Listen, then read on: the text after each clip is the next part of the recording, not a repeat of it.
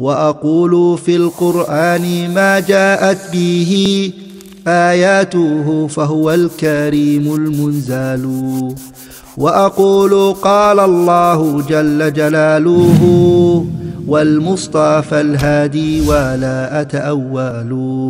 الحمد لله رب العالمين له الحمد الحسن والثناء الجميل وأشهد أن لا إله إلا الله وحده لا شريك له يقول الحق وهو يهدي السبيل وأشهد أن سيدنا ونبينا محمد عبده ورسوله صلى الله عليه وعلى اله واصحابه والتابعين لهم باحسان إلى يوم الدين اما بعد.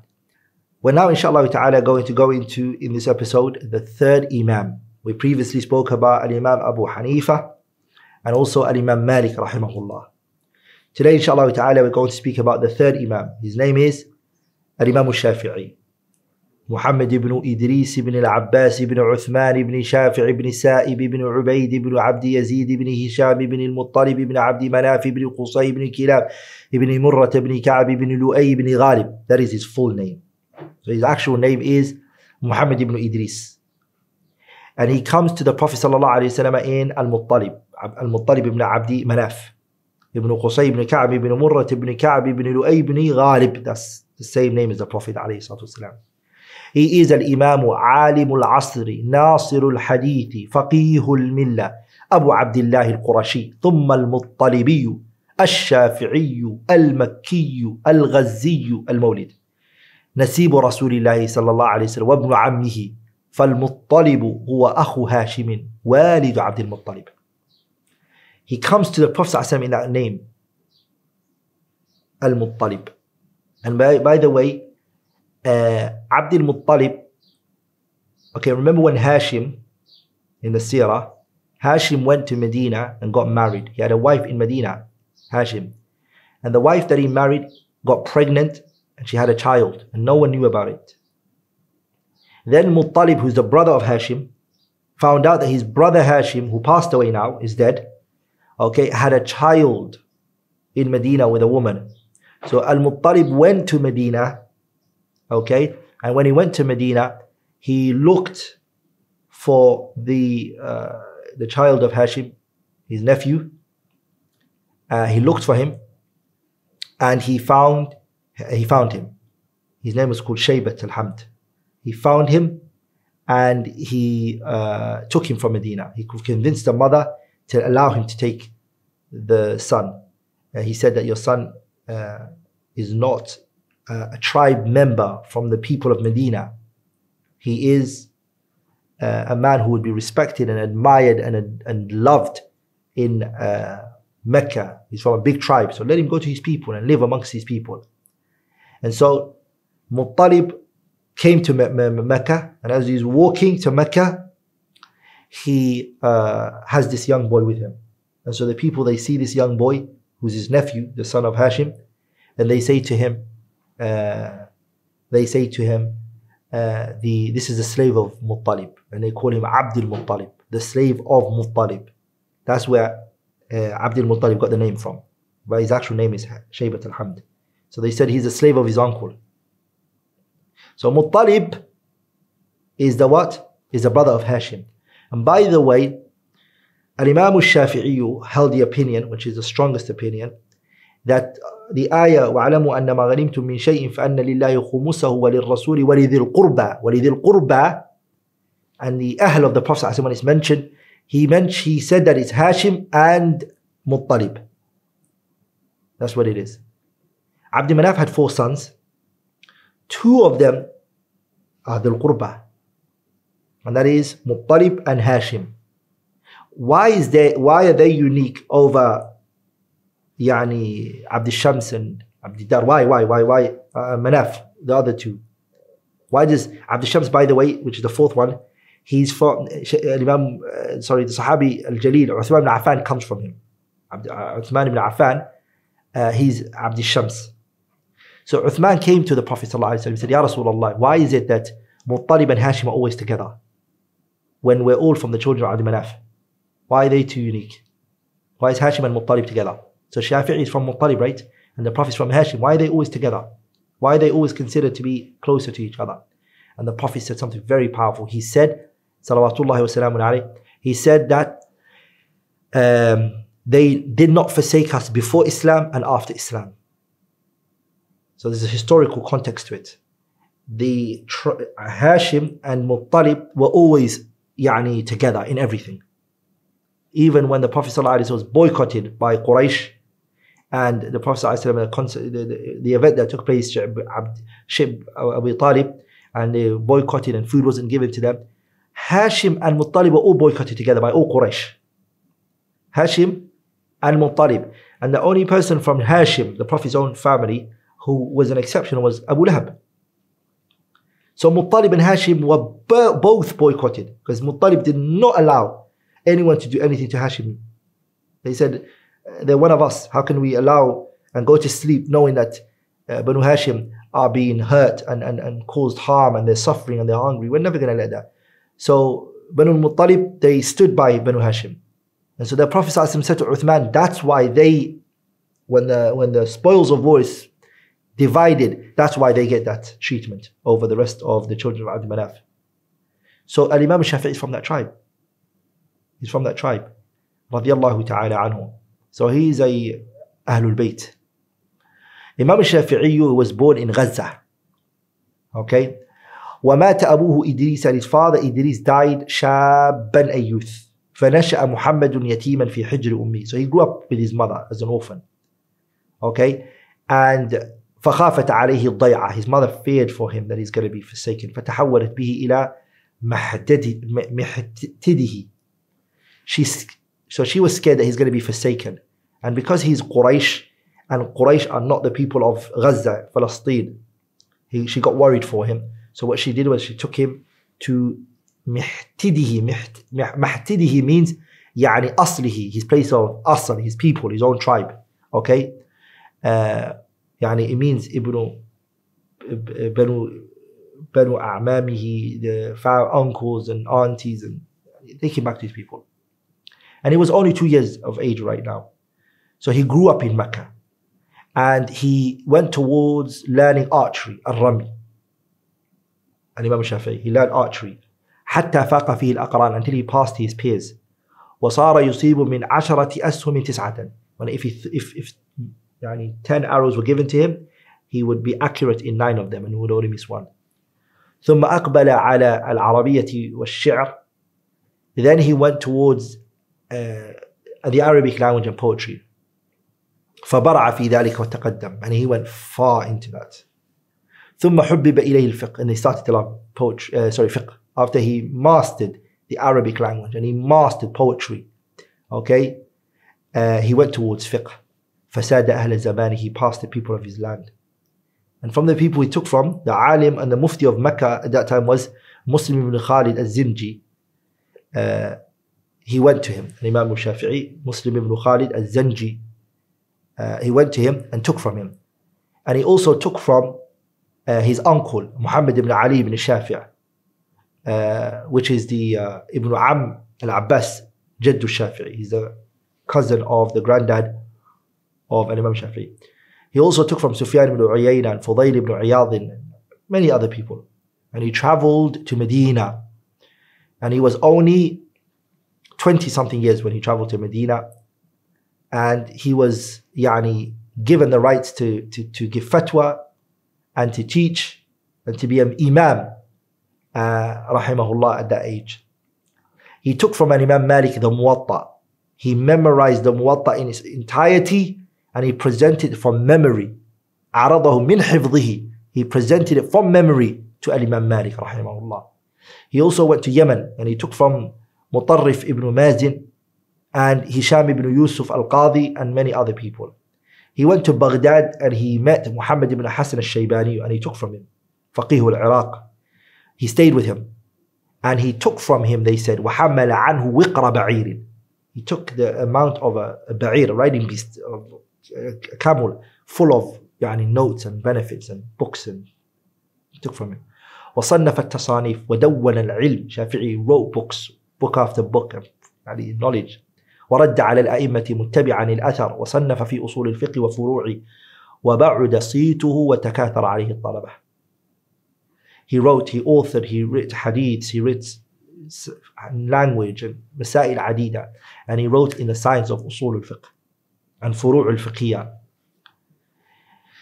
until the students became so much that came from all over the world to take knowledge from him حدث عنه الحميدي الحميدي عبد الله بن الزبير took knowledge from him.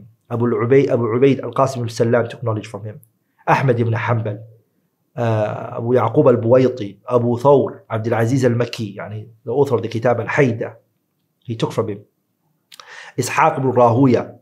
الربيع بن سليمان المرادي. الربيع بن سليمان الجيزي. محمد بن عبد الله بن عبد الحكم. And other than them they all sat down and they took knowledge from him. Okay?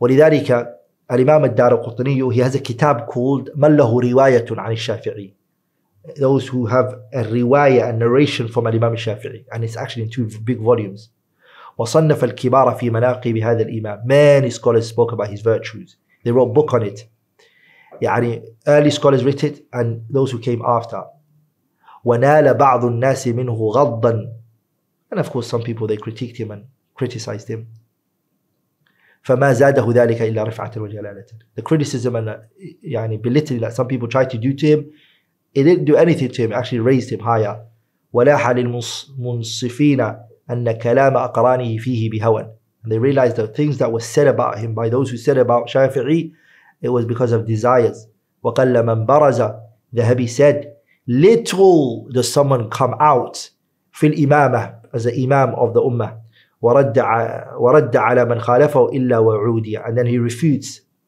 those who oppose the truth except animosity will be shown to him I have to underline that point that Dhahabi mentioned he said وقل little من برز في الإمامة person who's an imam يعني imam someone who's يقتدى به someone who's followed okay ورد على من خالفه and he opposes anyone who goes against him in the truth إلا وعودي except animosity and hate will be shown to him Then Dhahabi said, وَنَعُوذُ بِاللَّهِ مِنَ الْهَوَى We seek refuge in Allah from desires.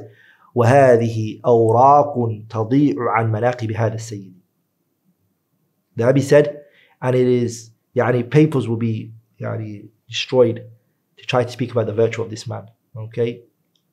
As for his granddad, As-Sa'ib al-Muttalibi, he was from the Kubara من حضر بدرا with the Jahiliyyah, in Jahiliyyah.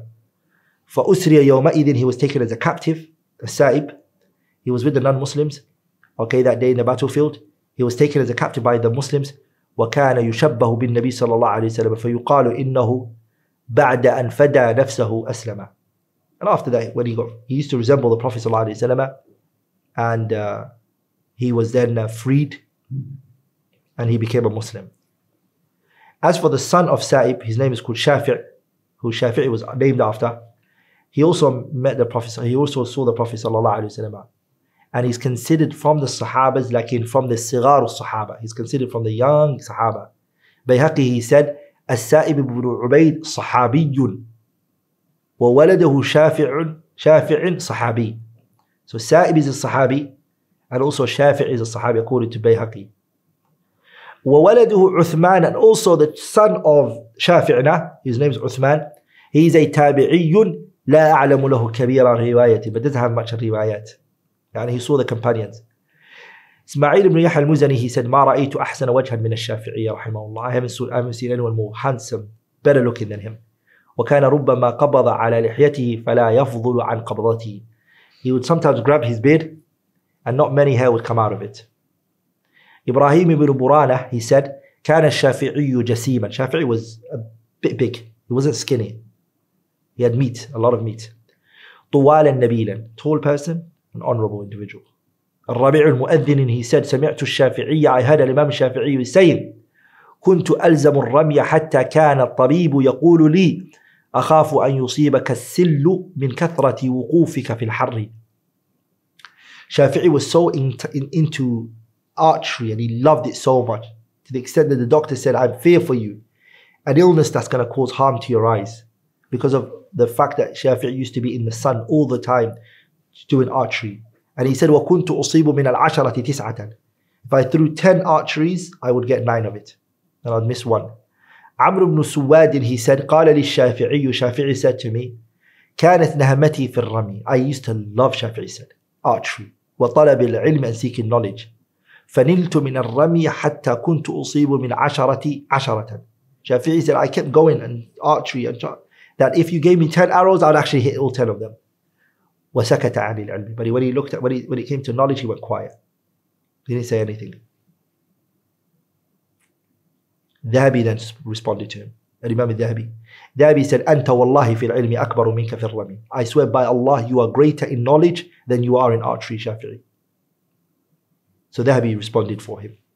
Your knowledge and the accuracy of your fatwas and your view views is higher and greater than your archery الحميدي he said سمعت الشافعي يقول الحميدي عبد الله بن الزبير حميدي is the teacher of Imam Bukhari he said I heard Shafi'i saying كنت يتيما في حجر أمي I was an orphan raised in my mother's house ولم يكن لها ما تطعيني she, my mother didn't have anything to يعني ما تعطيني للمعلمين my mother didn't have that which she could give to the teacher وكان المعلم قد رضي مني أن أقوم على الصبيان إذا غاب وأخفف عنه and so the teacher said instead of paying me I have an option I have a suggestion what when I sometimes can't come you take over the responsibility to teaching the young kids and so then he used to do that to lessen the burden for the teacher Shafi'i he said كنت أكتب في الأكتاف والعظام I used to write on bones يعني on leaves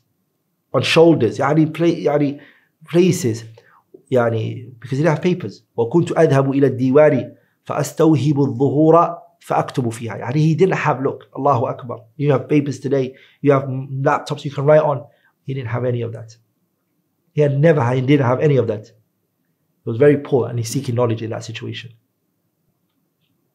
قال الشافعي الحميدي said شافعي said كان منزلنا بمكة في شعب الحيف في شعب الخيف sorry فكنت أنظر إلى العظم يلوح فأكتب فيه الحديث He said we had a place we lived in Mecca in في شعب الخيف in that place and he said he will see a bone يعني no meat or anything on it فأكتب فيه الحديث I will write hadith on it أو المسألة أو write a مسألة on there وكانت لنا جرة قديمة فإذا امتلأ العظم طرحته في الجرة I had like this place like a basket where I'd put uh, the bones in. سليمان إسماعيل بن يحيى المزني said سمعت الشافعي يقول heard الإمام الشافعي said حفظت القرآن وأنا ابن سبع سنين؟ I finished the memorization of the Quran and I was seven. وحفظت الموطأ and I memorized the موطأ of الإمام مالك وأنا ابن عشرة. I was 10 years old. الربيع بن سليمان المرادي said ولد الشافعي يوم مات أبو حنيفة رحمه الله. that Imam Shafi'i was born the day, the day that Abu Hanifa died. Now that's far-fetched and it's a bit hard to say so because uh, of course it needs yeah, the accuracy of someone knowing exactly when that was born and when that one died.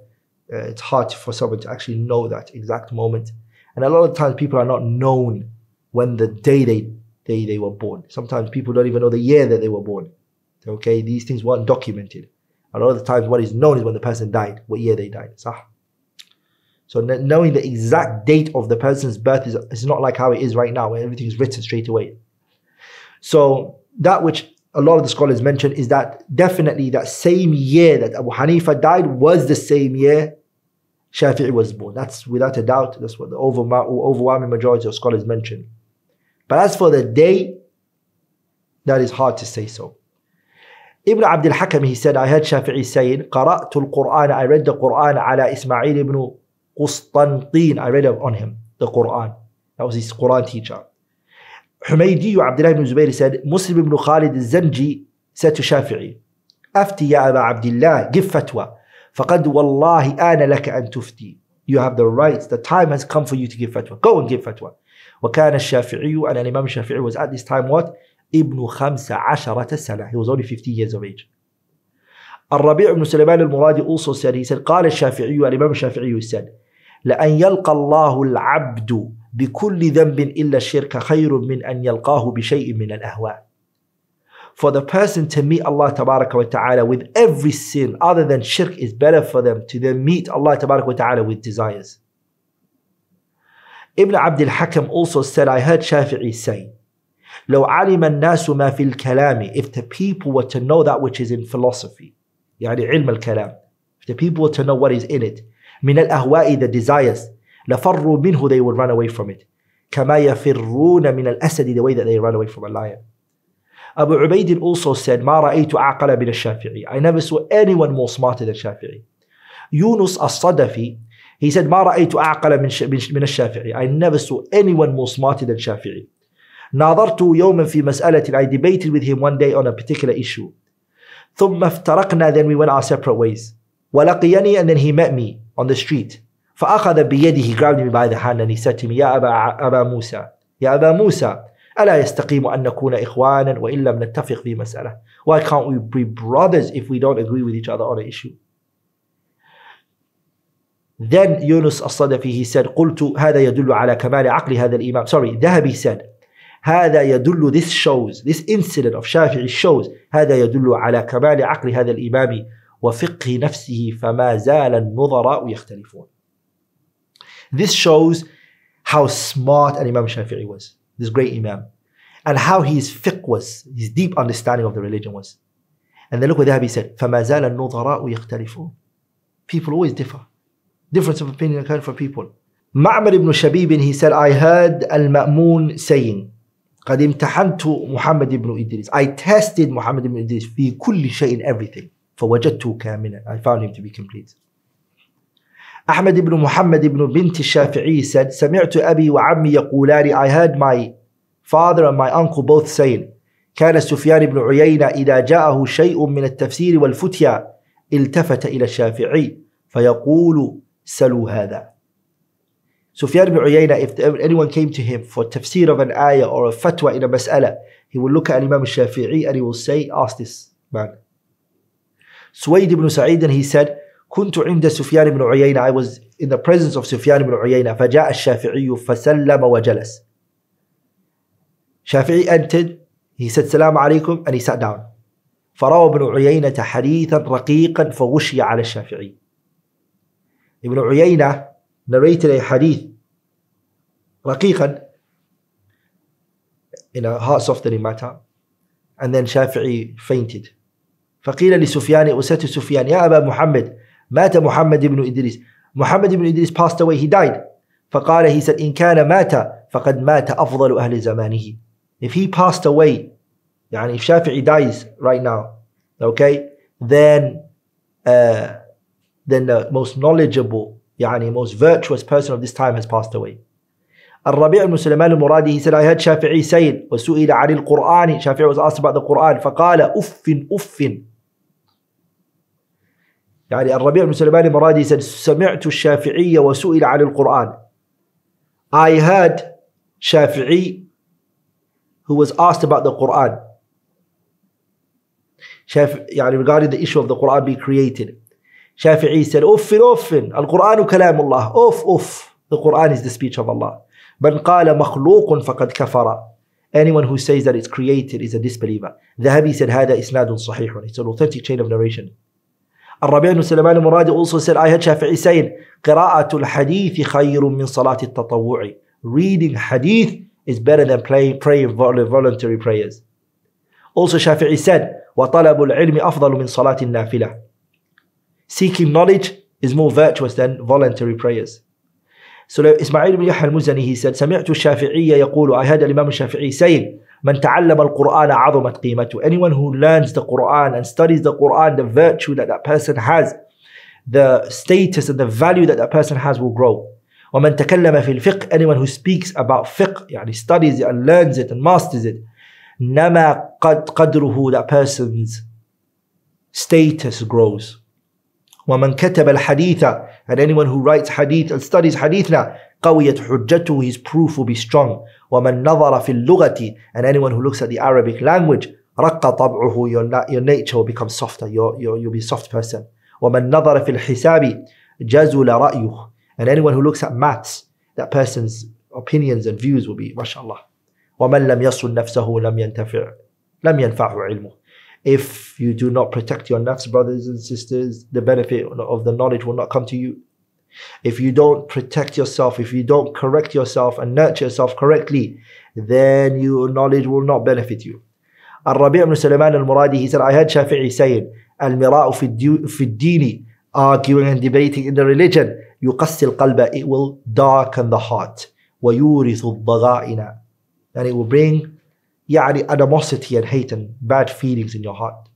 الربيع بن سليمان المرادي also said I heard Shafi'i saying وددت أن الناس تعلموا هذا العلم I wish people can attain this knowledge from me يعني benefit from my works benefit from what I've written benefit from what I've taught them I wish the people can benefit from it على ألا ينسب إلي منه شيء but nothing is attributed to me I wish I'm unknown to everybody but the knowledge and the ajr so I can get it so they benefit from me Harmala he said I heard Shafi'i saying وددت أن كل علم أعلمه تعلمه الناس أوجر عليه ولا يحمدوني but he expands on it more what he meant by it he said Harmala said I heard Shafi'i saying I wish the people learn the knowledge I, learned, I taught them I wish and that I can get the reward for it but no one praises me for it no one praises me for it Abdullah ibn Ahmad ibn Hanbal he said Abdullah ibn Ahmad ibn Hanbal and he said سمعت محمد بن داود يقول I heard Muhammad ibn Dawood saying لم يحفظ في دهر الشافعي كله أنه تكلم في شيء من الأهواء ولا نسب إليه ولا عرف به مع بغضه لأهل الكلام والبدع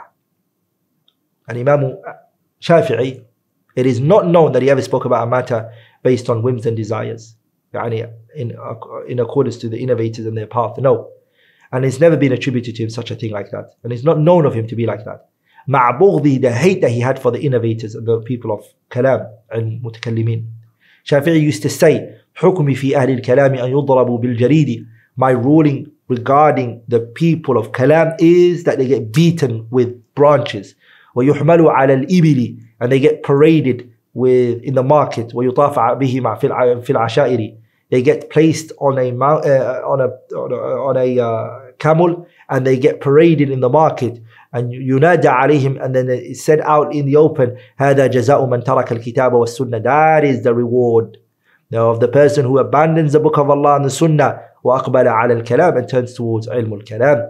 Abu Abdul Rahman al-Ash'ari, the friend of Al-Imam al-Shafi'i, he said, or the student of Al-Imam al-Shafi'i said, قال الشافعي شافعي said مذهبي في أهل الكلام تنقيع رؤوسه بالسياط وتشريدهم في البلاد My ruling regarding the people of innovation, أهل الكلام is what?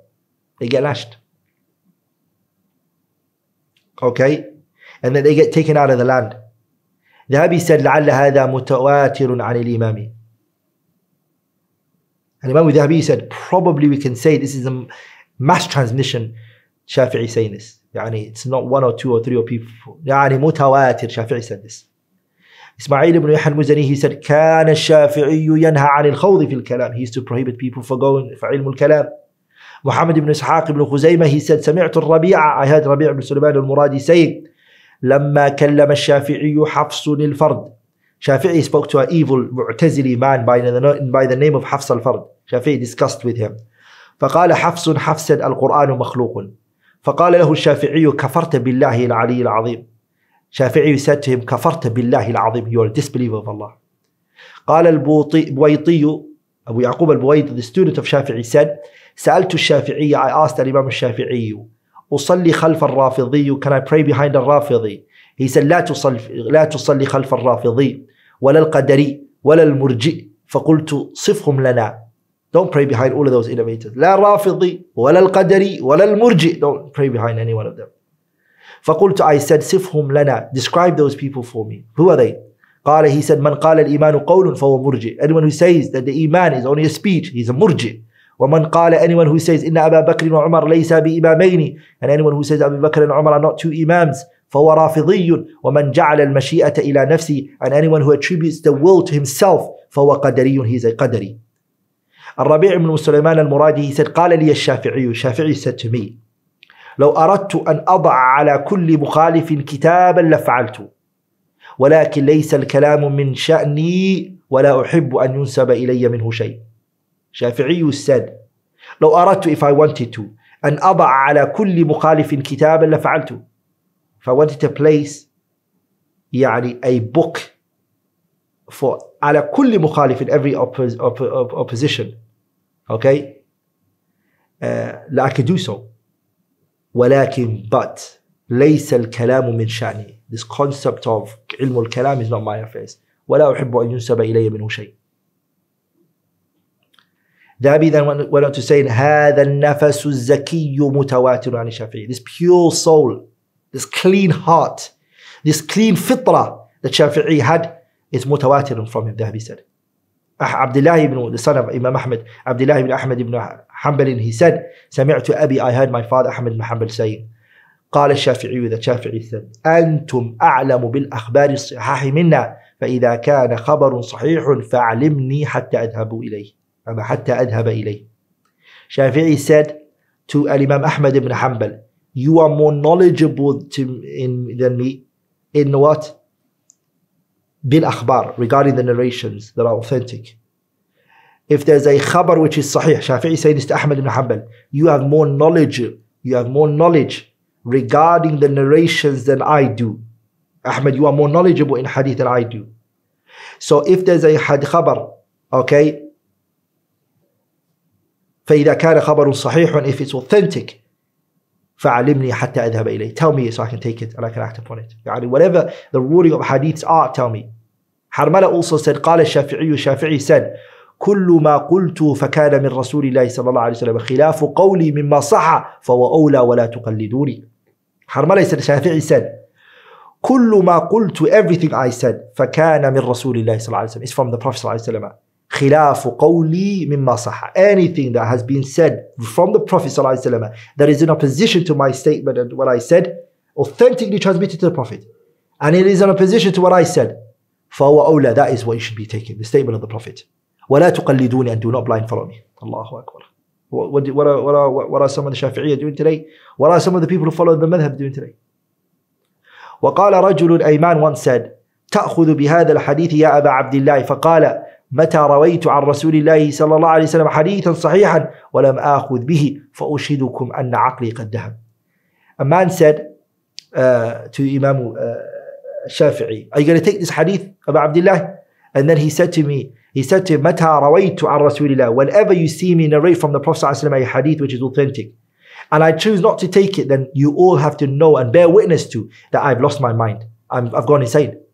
The Prophet saying something, sallallahu alaihi wasallam, authentically attributed to him, and I'm here saying something opposite to it, and I have the hadith of the Prophet, then all of you should know I lost my mind. I'm saying now, I've lost it. Al-Humaydi Abdullah ibn Zubayr, he said, روى الشافعي يوما حديثا. Imam Shafi'i one day narrated a hadith. فقلت, I said, أتأخذ به, do you take it? قال, he said to me, رأيتني خرجت من, من كنيستي. Have I left, do you see me leaving a, a church? Al-Humaydi Abdullah ibn Zubayr said, uh, after narrating a hadith to Imam Shafi'i, he said, Do you take this hadith? Shafi'i said to him, uh, Do you see me uh, coming out of a church? Oh, علي زنار or do you think I'm a Zoroastrian, a, a, a fire worshipper? حتى سمعت عن رسول الله صلى الله عليه وسلم حديثا لا أقول به. Are you, do, do you think I'm a sinner? Do you think I'm a fire worshipper? Do you think I'm a Christian? Do you think I'm a Jew? يعني, these are different words he said. حتى إذا سمعت عن رسول الله if I heard from the Prophet صلى الله عليه وسلم a hadith and I, I don't say it, then Shafi'i had a very powerful statement. He said, إذا صح الحديث فهو مذهبي. If a hadith is sahih, that is my madhab. وإذا صح الحديث فاضربوا بقول الحائط. And any speech that is in opposition to that authentic hadith that I have said, smack it against the wall. Al-Rabi' ibn المرادي al-Muradi كان الشافعي قد جزأ الليلة. شافعي divided his night into three. فثلثه الأول يكتب. The first third of the night, he writes. والثاني يصلي. And the second third, he, he prays. And the last third, what does he do? والثالث ينام. He sleeps. What did the Dhahabi said about him? He said, أفعاله الثلاثة عبادة بالنية. All of those three were acts of worship. When he was writing, it was an act of worship and writing knowledge. When he was praying, it was an act of worship. And when he was sleeping, it was also an act of worship with the intention that Shafi'i used to come with. So he was consistently in worship the entire night. The Dhahabi pointed this out. He said, أَفْعَالُهُ الثَّلَاثَ عِبَادَةٌ بِالنِّيَّةِ All three of his actions, which is kitabah and salah and naum, all three of them, they are acts that he did as a form of worship to get closer to Allah by, by it. So Al-Karabisi, he said, بِتُ مع الشافعي ليلة I, I spent a night with Imam Shafi'i. فكان يصلي نحو ثلث الليل. He was praying one third of the night. فما رأيته يزيد على خمسين آية. I did not see him increase more than 50 verses. فإذا أكثر فمئة آية. If he went overboard, it happened, which is rare, he would go to 100 verses. وكان لا يمر بآية رحمة إلا سأل الله. There would not be a verse where it mentions the mercy of Allah except that he will ask Allah subhanahu wa ta'ala for that mercy. ولا آية ولا بآية عذاب and he wouldn't come across the verse that speaks about punishments إلا تعوذ except that he seek refuge in Allah from it. وكأنما جمع له الرجاء والرهبة جميعا. It was like Allah combined for this great Imam yani hope and fear all of it. The way he was, he would come to those verses where it would speak about Allah's mercy, it would talk about Jannah, it, he would ask Allah for it. He would come across those verses where Allah talks about the punishment and the hellfire, he would, he would seek refuge in Allah from those, from, from those punishments and from the hellfire. So his prayer combined between hope and fear. Rahimahullah, rahmatan wasi'ah. Al-Rabi' ibn Sulaiman mentions من طريقين عنه two ways that he said كان الشافعي يختم القرآن في شهر رمضان ستين ختمة that Imam al-Shafi'i used to finish the Quran in the month of Ramadan 60 times. In other words, he would finish the Quran twice a day. If the month is 30 days, he would finish the Quran twice a day. And that would mean that month of Ramadan, he would finish the Quran, he would finish the Quran 60 times. Rahimahullah rahmatan wasi'ah. Amr ibn Sawadin, he said, كان الشافعي أسخى الناس على الدينار والدرهم والطعام. Shafi'i was one of the most generous of people when it came to money, when it came to food. He was the most generous, rahimahullah. أسخى الناس على الدينار والدرهم. He was very generous, very giving person. Wealth was not in it value like, like that to him. It wasn't the world for him. He believed helping others and being in the service of others is what a Muslim should do. Abu Thawrin, who's a student of Imam Shafi'i, he said, قَلَّمَا كَانَ يُمْسِكُ الشَّافِعِيُّ الشَّيْءَ مِنْ سَمَاحَتِهِ It was rare that Shafi'i withheld giving.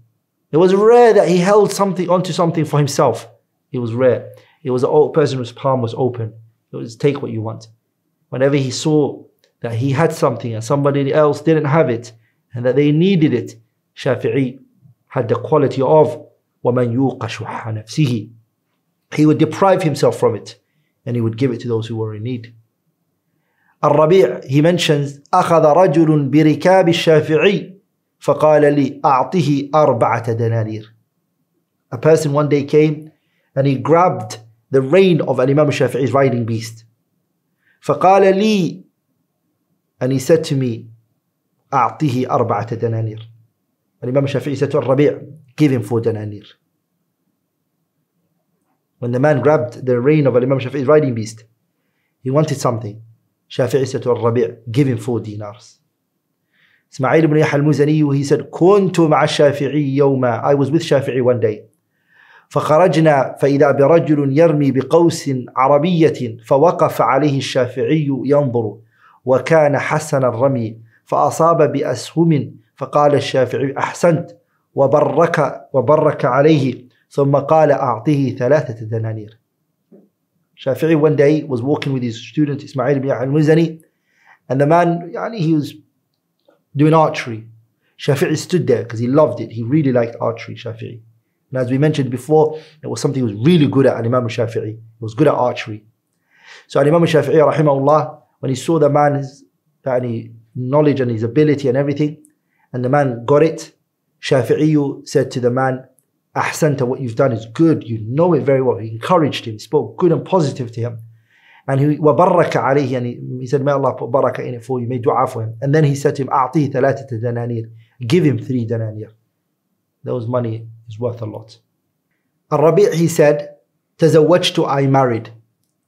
Um, فسألني الشافعي الشافعي said to الربيع uh, كم أصدقتها now that you've got married how much was the agreed amount of the dowry how much have you both agreed on for the dowry to be he said to Shafi'i 30 دينارا 30 dinar then Shafi'i said to him how much did you give in advance he said عجلت منها ستة I've given six of that in advance already to her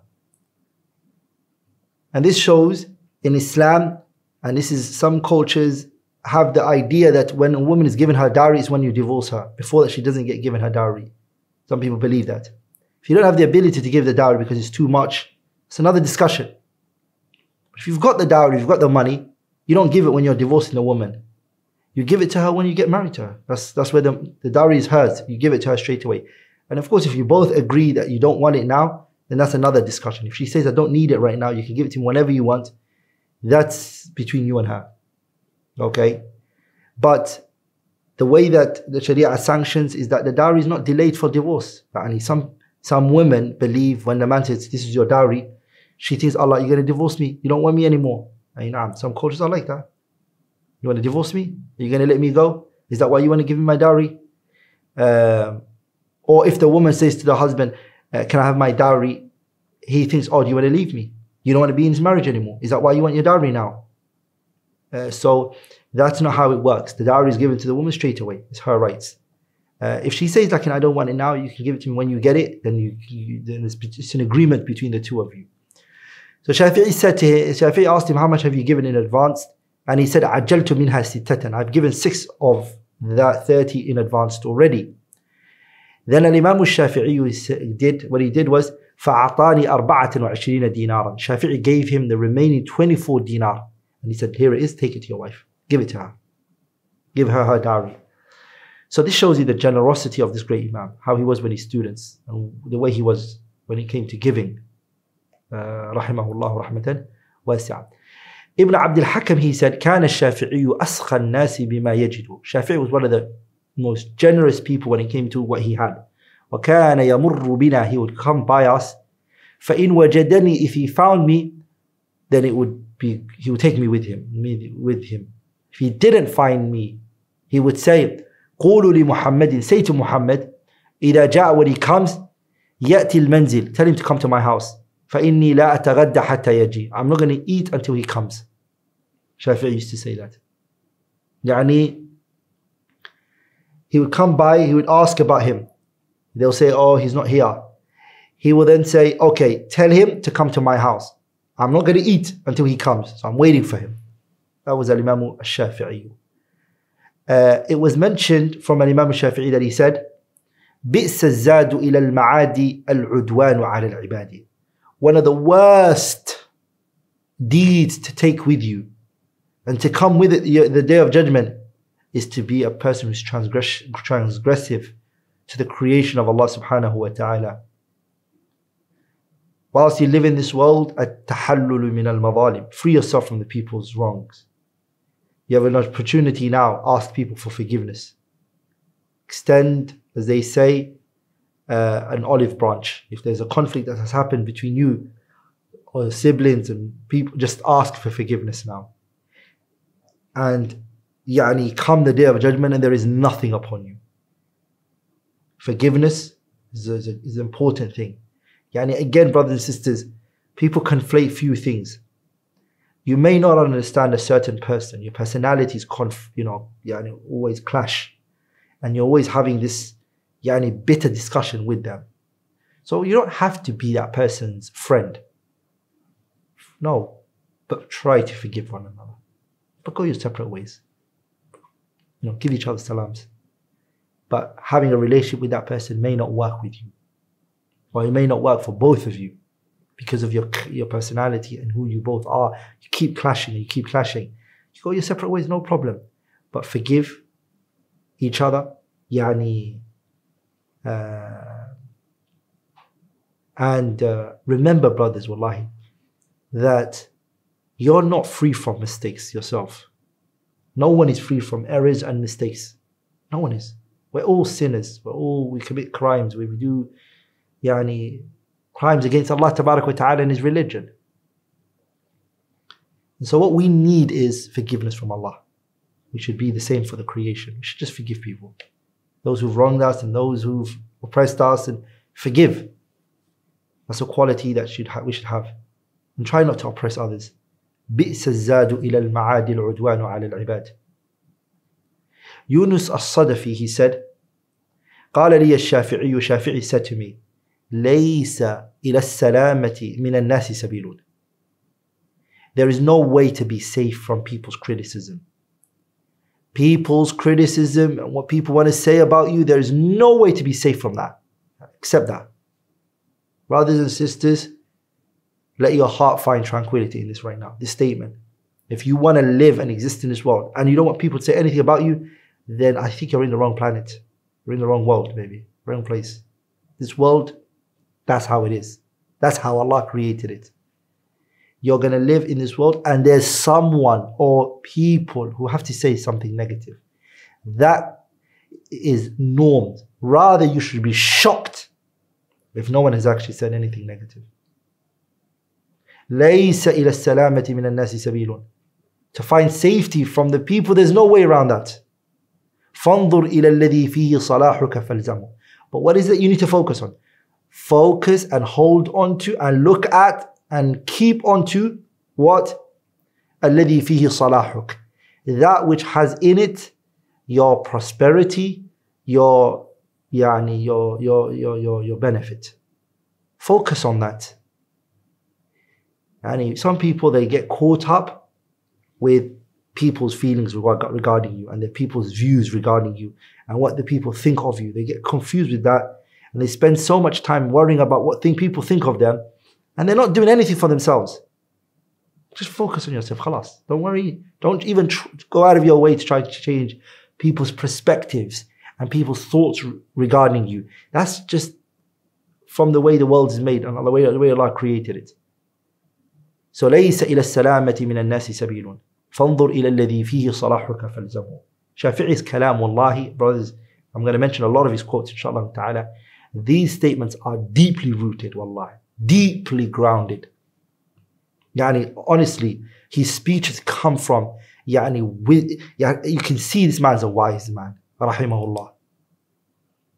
Look what he said about another statement he said. He said, إِذَا خِفْتَ عَلَى عَمَلِكَ الْعُجْبَ If you fear regarding your actions that you you started to have you're becoming a person who's conceit uh, you're becoming fascinated with your righteous deeds فذكر then remember رضا من تطلب start thinking about the one who you're looking for to be pleased with you think over him for a little bit ponder on that forget your actions for now start pondering and thinking over the one you want to be pleased with you يعني Allah وفي أي نعيم ترغب and look at the blessing that you're looking to gain you're looking to gain Jannah right so think over that for a little bit ومن أي عقاب ترهب and again start thinking about the punishment that you're running away from which is the hellfire فمن فكر في ذلك when you start thinking about those three what happens صغر عنده عمله your actions start to become little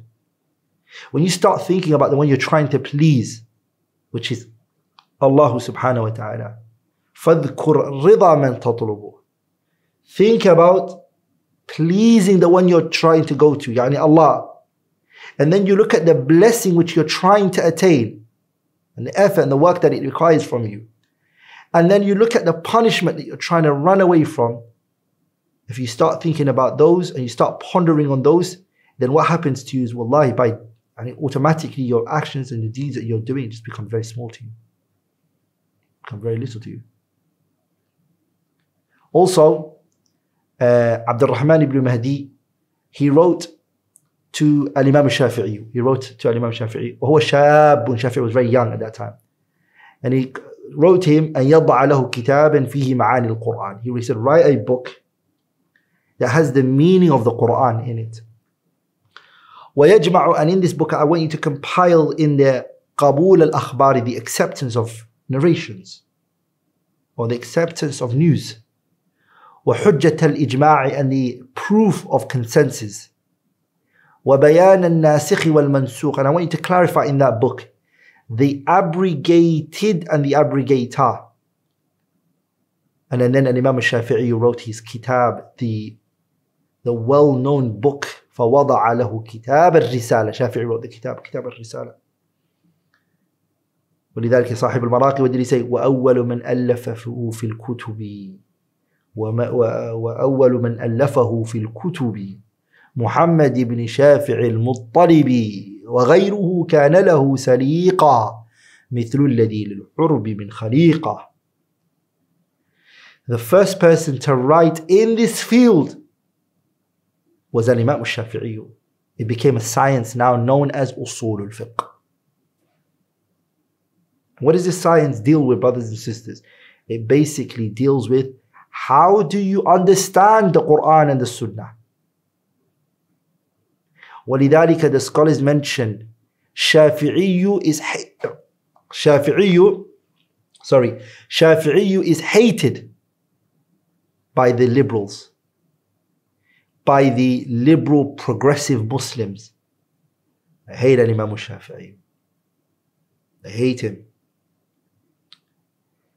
why do they hate him for because Shafi'i wrote spoke about a science that demolishes their approach to when it comes to the Quran and the Sunnah. The liberal Muslims, what do they want to do? They want to base things on their feelings and what they desire, not on knowledge. Not on knowledge and principles, and this text is general, and this text is specific, and this is abrogated, and this is not. They don't base it on that. The science of usul al fiqh shakes the foundations of the liberal Muslims. A person studies it, he is a thorn in the neck of the liberal Muslims. The progressive Muslims, the reform, the reformists who want to reform Islam. Shafi'i is a thorn in their neck, and the science he's written is a thorn in their neck. So they hate him so much. You find it, they speak against Shafi'i, condemn him, belittle him, ridicule him. But only to what? To be allowed to just look at the Quran and the Sunnah and do whatever they want with it. ولذلك brothers and sisters the extremists as they you know like ISIS supporters and, the, and ISIS as well and the liberals are on the same when it comes to this issue the secularists and the liberalists and the reformists and all of them uh, when it comes to uh, this issue of the understanding and the pondering of the Quran and the Sunnah they're on the same they're on the same methodology of what of ISIS and their likes. Why? Because ISIS and their likes want to do the same thing. They want to understand the Quran and Sunnah on their whims and desires. It's just the whims and the desire, desires of ISIS and their followers is extreme. They see blood when they read everything. And these ones, on the other side, the liberalists and the secularists and their likes, when they look at the Quran, they see their in through their lenses and they see they base it on their whims and desires. So one whims and desires is that and one woman desires is that. Now both of them are a problem. That's why the liberal progressive Muslims yani, cannot really refute ISIS and it's like from a fundamental methodological pr- approach. They can't. Because if you're using your whims and desires, that's what it brought you to. And I'm going to do use my whims and desires, and that's what it brings me to. What are you condemning me for? The one that can only destroy both foundations and destroy them all is the one who takes the approach set by uh, the great noble Imam al Imam Shafi'i, something that he didn't just bring it from his own pocket, but rather it was uh, what was there already, but was it written in books? That's why the scholars they say uh, صاحب المراقي that's why he, that's why he says وأول من ألفه في الكتب محمد بن شافع المطلب وغيره كان له وغيره كان له سليقة مثل الذي للعرب من خليقة like just like the Arabic grammar people were speaking Arabic were they not and was there any grammatical mistakes when they spoke no not necessarily they were speaking fluent the Arabic was good it was crisp so you can't say grammar made people speak Arabic correctly no it didn't Arabic was spoken correctly before but then it was written, the principles were taken from the, that speech of the Arabs, and principles were made out of it in order to allow those who want to now study the Arabic language or learn the Arabic language as a second language for them to what? To observe these principles. ولذلك that's, that's how usul al-fiqh was. Al-Imam al-Shafi'i did not bring usul al-fiqh into existence and it wasn't there. It was actually there before. But it wasn't written. No one compiled something in it. So Imam al-Bukhari, sorry, Imam, uh, sorry, Sahabi al-Jalil Abu Bakr Siddiq and Umar ibn Khattab and Uthman ibn Affan and Ali ibn Talib and the noble companions, they knew usul al-fiqh. But they knew it from, yani, it was, it was, it was nature for them. It was, it was ingrained in them. It was ingrained in them.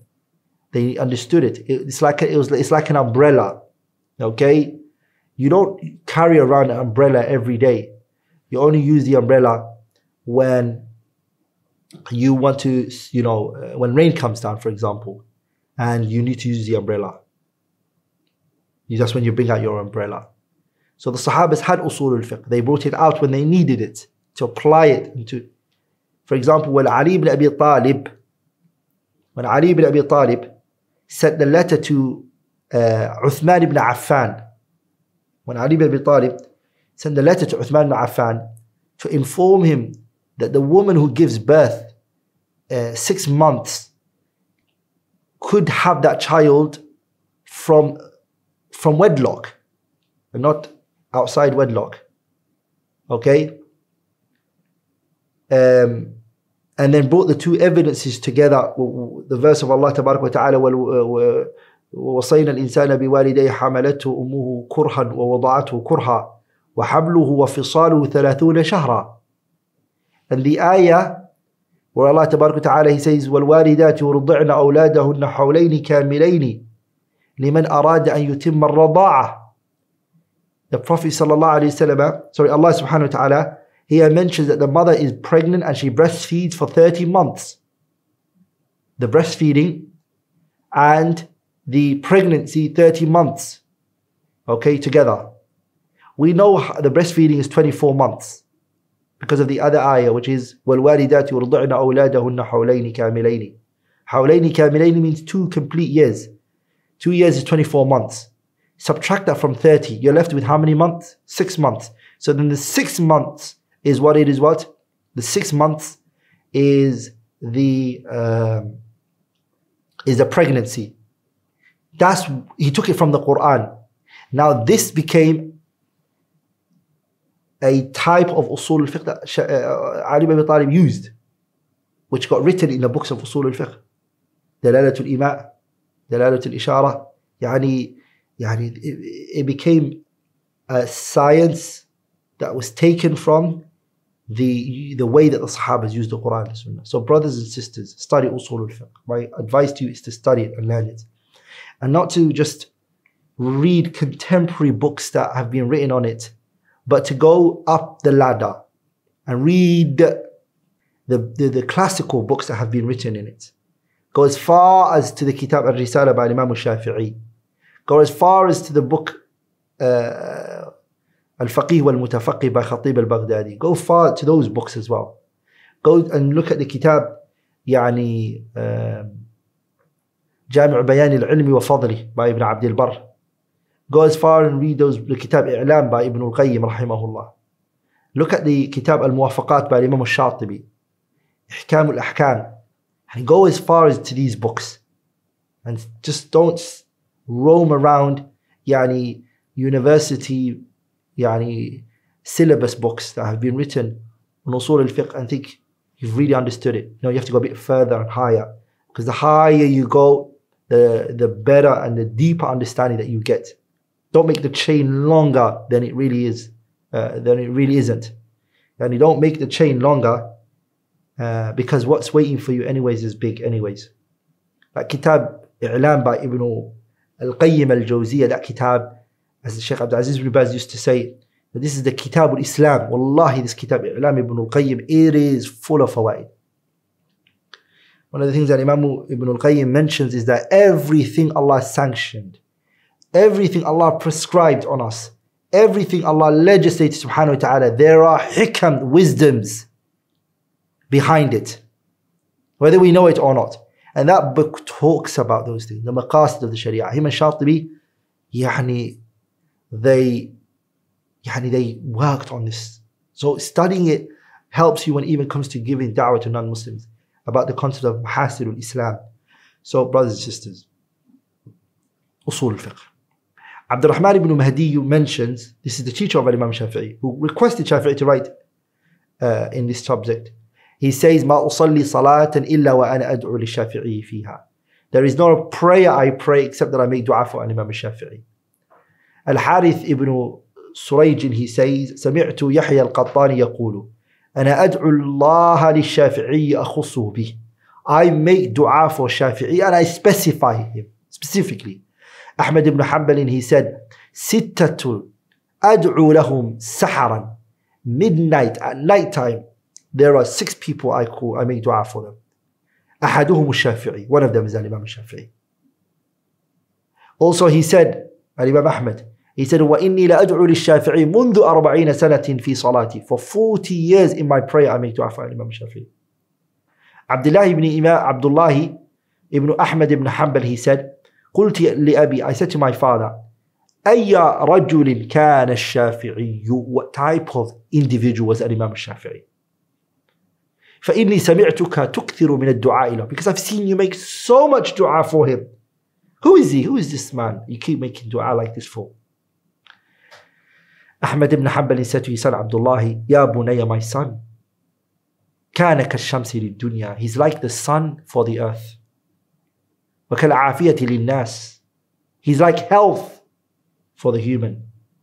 فهل لهذين من خلف? Is there any other alternative for those two? Is there anything? Can you bring any other alternative for the sun? No.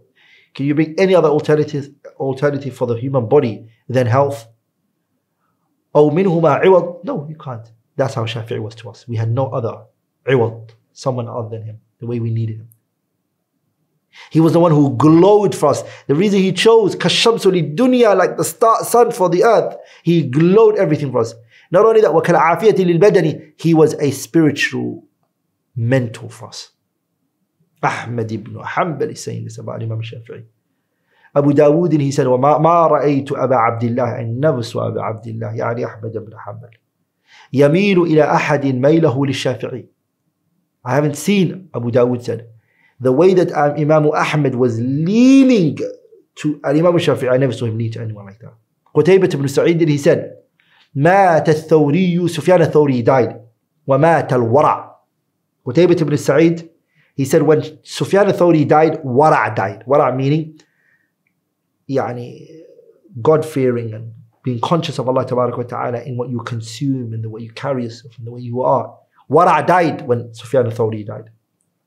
ومات الشافعي when Shafi'i died يعني ماتت السنة السنن the sunan died ويموت أحمد بن حنبل أحمد بن حنبل is going to die وتظهر البدع innovation will become apparent Ahmad ibn Hanbal, he said, إن الله يقيض للناس في رأس كل مئة من يعلمهم السنن. Ahmad said, every hundred years, Allah revives for the people a person to educate the people when it comes to the sunnah. وينفي عن رسول الله صلى الله عليه وسلم الكذب and repel the false allegations and the lies that were made against the Prophet ﷺ, he would negate that the false narrations that people just made up about the Prophet, he will stand up and he will negate from him that. Then Ahmad ibn Hanbal, uh, he looked at the people and then he said, فإذا في الرأس فإذا في رأس المئة عمر بن عبد العزيز. The first hundred years was Umar ibn Abdul Aziz. وفي رأس المئتين and the second 200 was who? الشافعي رحمه الله. And Imam Shafi'i said something. He said, إِذَا رَأَيْتُ رَجُلًا مِنْ أَصْحَابِ الْحَدِيثِ If I ever see a person from the people of Hadith, فَكَأَنِّي رَأَيْتُ رَجُلًا مِنْ أَصْحَابِ النَّبِي صلى الله عليه وسلم. It was like I saw a companion from the companions of the Prophet عليه الصلاة والسلام. جزاهم الله خيرا. May Allah reward the people of Hadith with good. هم حفظوا لنا الأصل. They safeguarded, they protected the foundation for us. فلهم علينا الفضل virtue is for them and Shafi, what was he doing? He was taking knowledge from those ahadith that were safeguarded and protected by who? ulama al-hadith. Abu Zur'at al-Razi said, ما عند الشافعي حديث فيه غلط. There is not with al-Imam al-Shafi'i any hadith that is wrong. Abu Zur'at al-Razi saying the great scholar of hadith.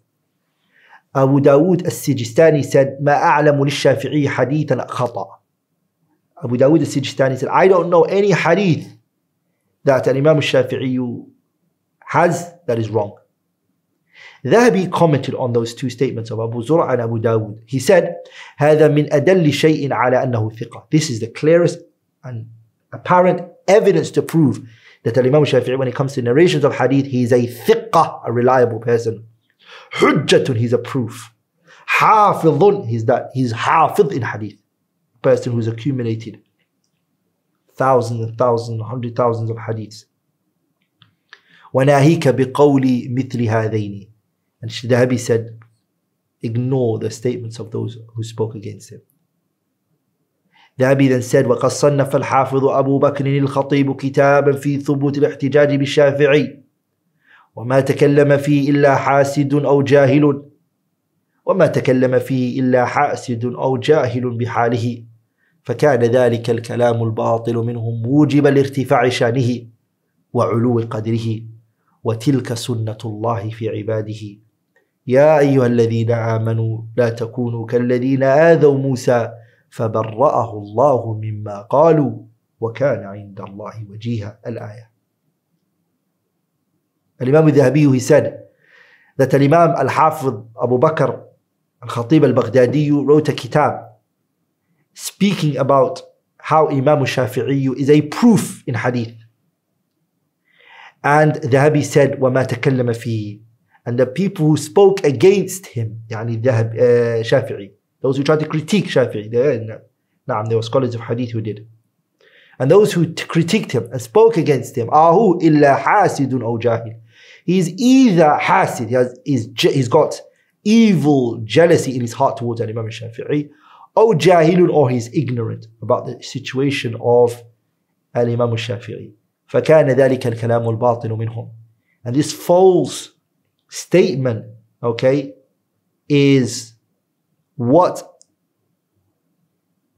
raised Imam Shafi'i موجب الارتفاع شاني was a Allah يعني by people speaking evil about him Allah used that to elevate Imam Shafi'i subhanahu wa ta'ala يعني in other words Allah raised him subhanahu wa ta'ala through that criticism وعلو قدره Allah raised him ولذلك and look at he says وَتِلْكَ سُنَّةُ اللَّهِ فِي عِبَادِهِ That is the sunnah of Allah ta'ala in His creation. And Allah says, يا أيها الذين آمنوا لا تكونوا كالذين آذوا موسى فبرأه الله مما قال وكان عند الله وجيها. And we can say today, just today, subhanAllah, I came across Al-Imam Al-Albani rahimahullah being critiqued by someone who is ignorant about the Imam. So we say to them the same thing. وما تكلم فيه إلا حاسد أو جاهل بحاله. The people who speak against Sheikh Muhammad Nasiruddin al-Albani and critique him today and open their tongue about him are either hasid, they have jealousy filled with their hearts, or they are jahilun bihalihi, they don't really know who this Imam is, they are ignorant about his life and who he was and his accomplishments. And I'll say this to them, فَكَانَ ذَلِكَ الْكَلَامُ الْبَاطِلُ مِنْهُمْ موجب الارتفاع شانه. This statement that they say about this great Imam, Al-Imam Al-Albani rahimahullah, and this criticism that they put about him, rahimahullah ta'ala, Allah is using it subhanahu wa ta'ala to raise him. Allah subhanahu wa ta'ala is making their criticism about him a means for him to be known who he is. وعلو قدره وَتِلْكَ سُنَّةُ اللَّهِ فِي عِبَادِهِ And this is what we say to them. Don't worry, this is the sunnah of Allah ta'ala. When they try to put someone down, Allah raises them subhanahu wa ta'ala. That's what Allah said in the Quran. يا أيها الذين آمنوا لا تكونوا كالذين آذوا موسى فبرأه الله مما قالوا وكان عند الله وجيها. They, what did they do?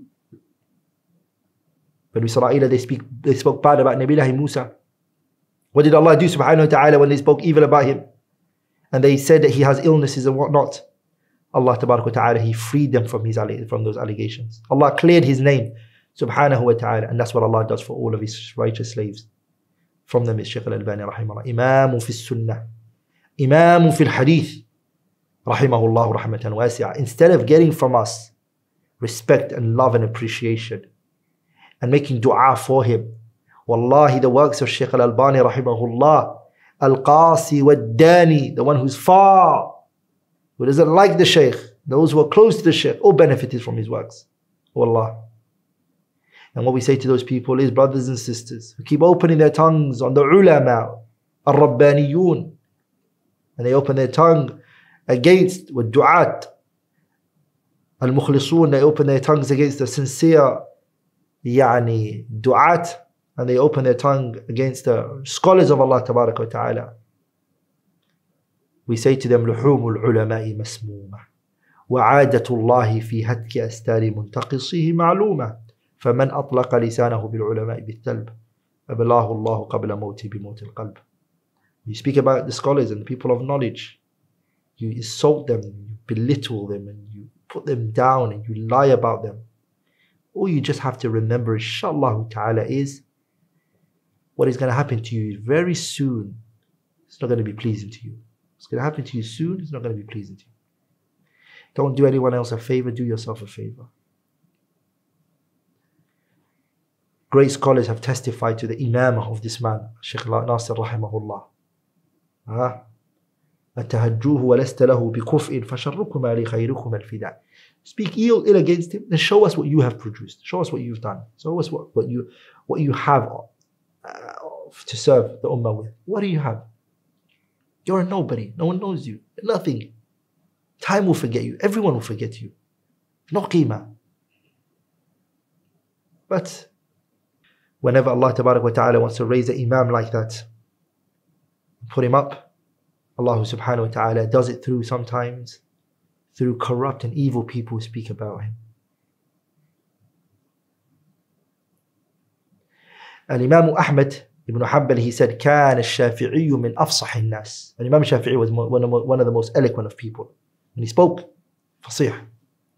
Yunus ibn Abdul A'la, he said, ما كان للشافعي إلا سحرا.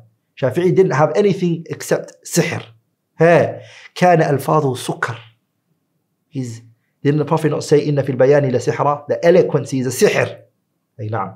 شافعي حدد سحر البيان is called. إنجاز التعبير. He's had the sihr of eloquency. كان ألفاظه سكر. His speech, Yunus ibn Abdul Ala said, the speech of Shafi'i was like sugar. Sweet. وكان قد أوتي عذوبة منطق.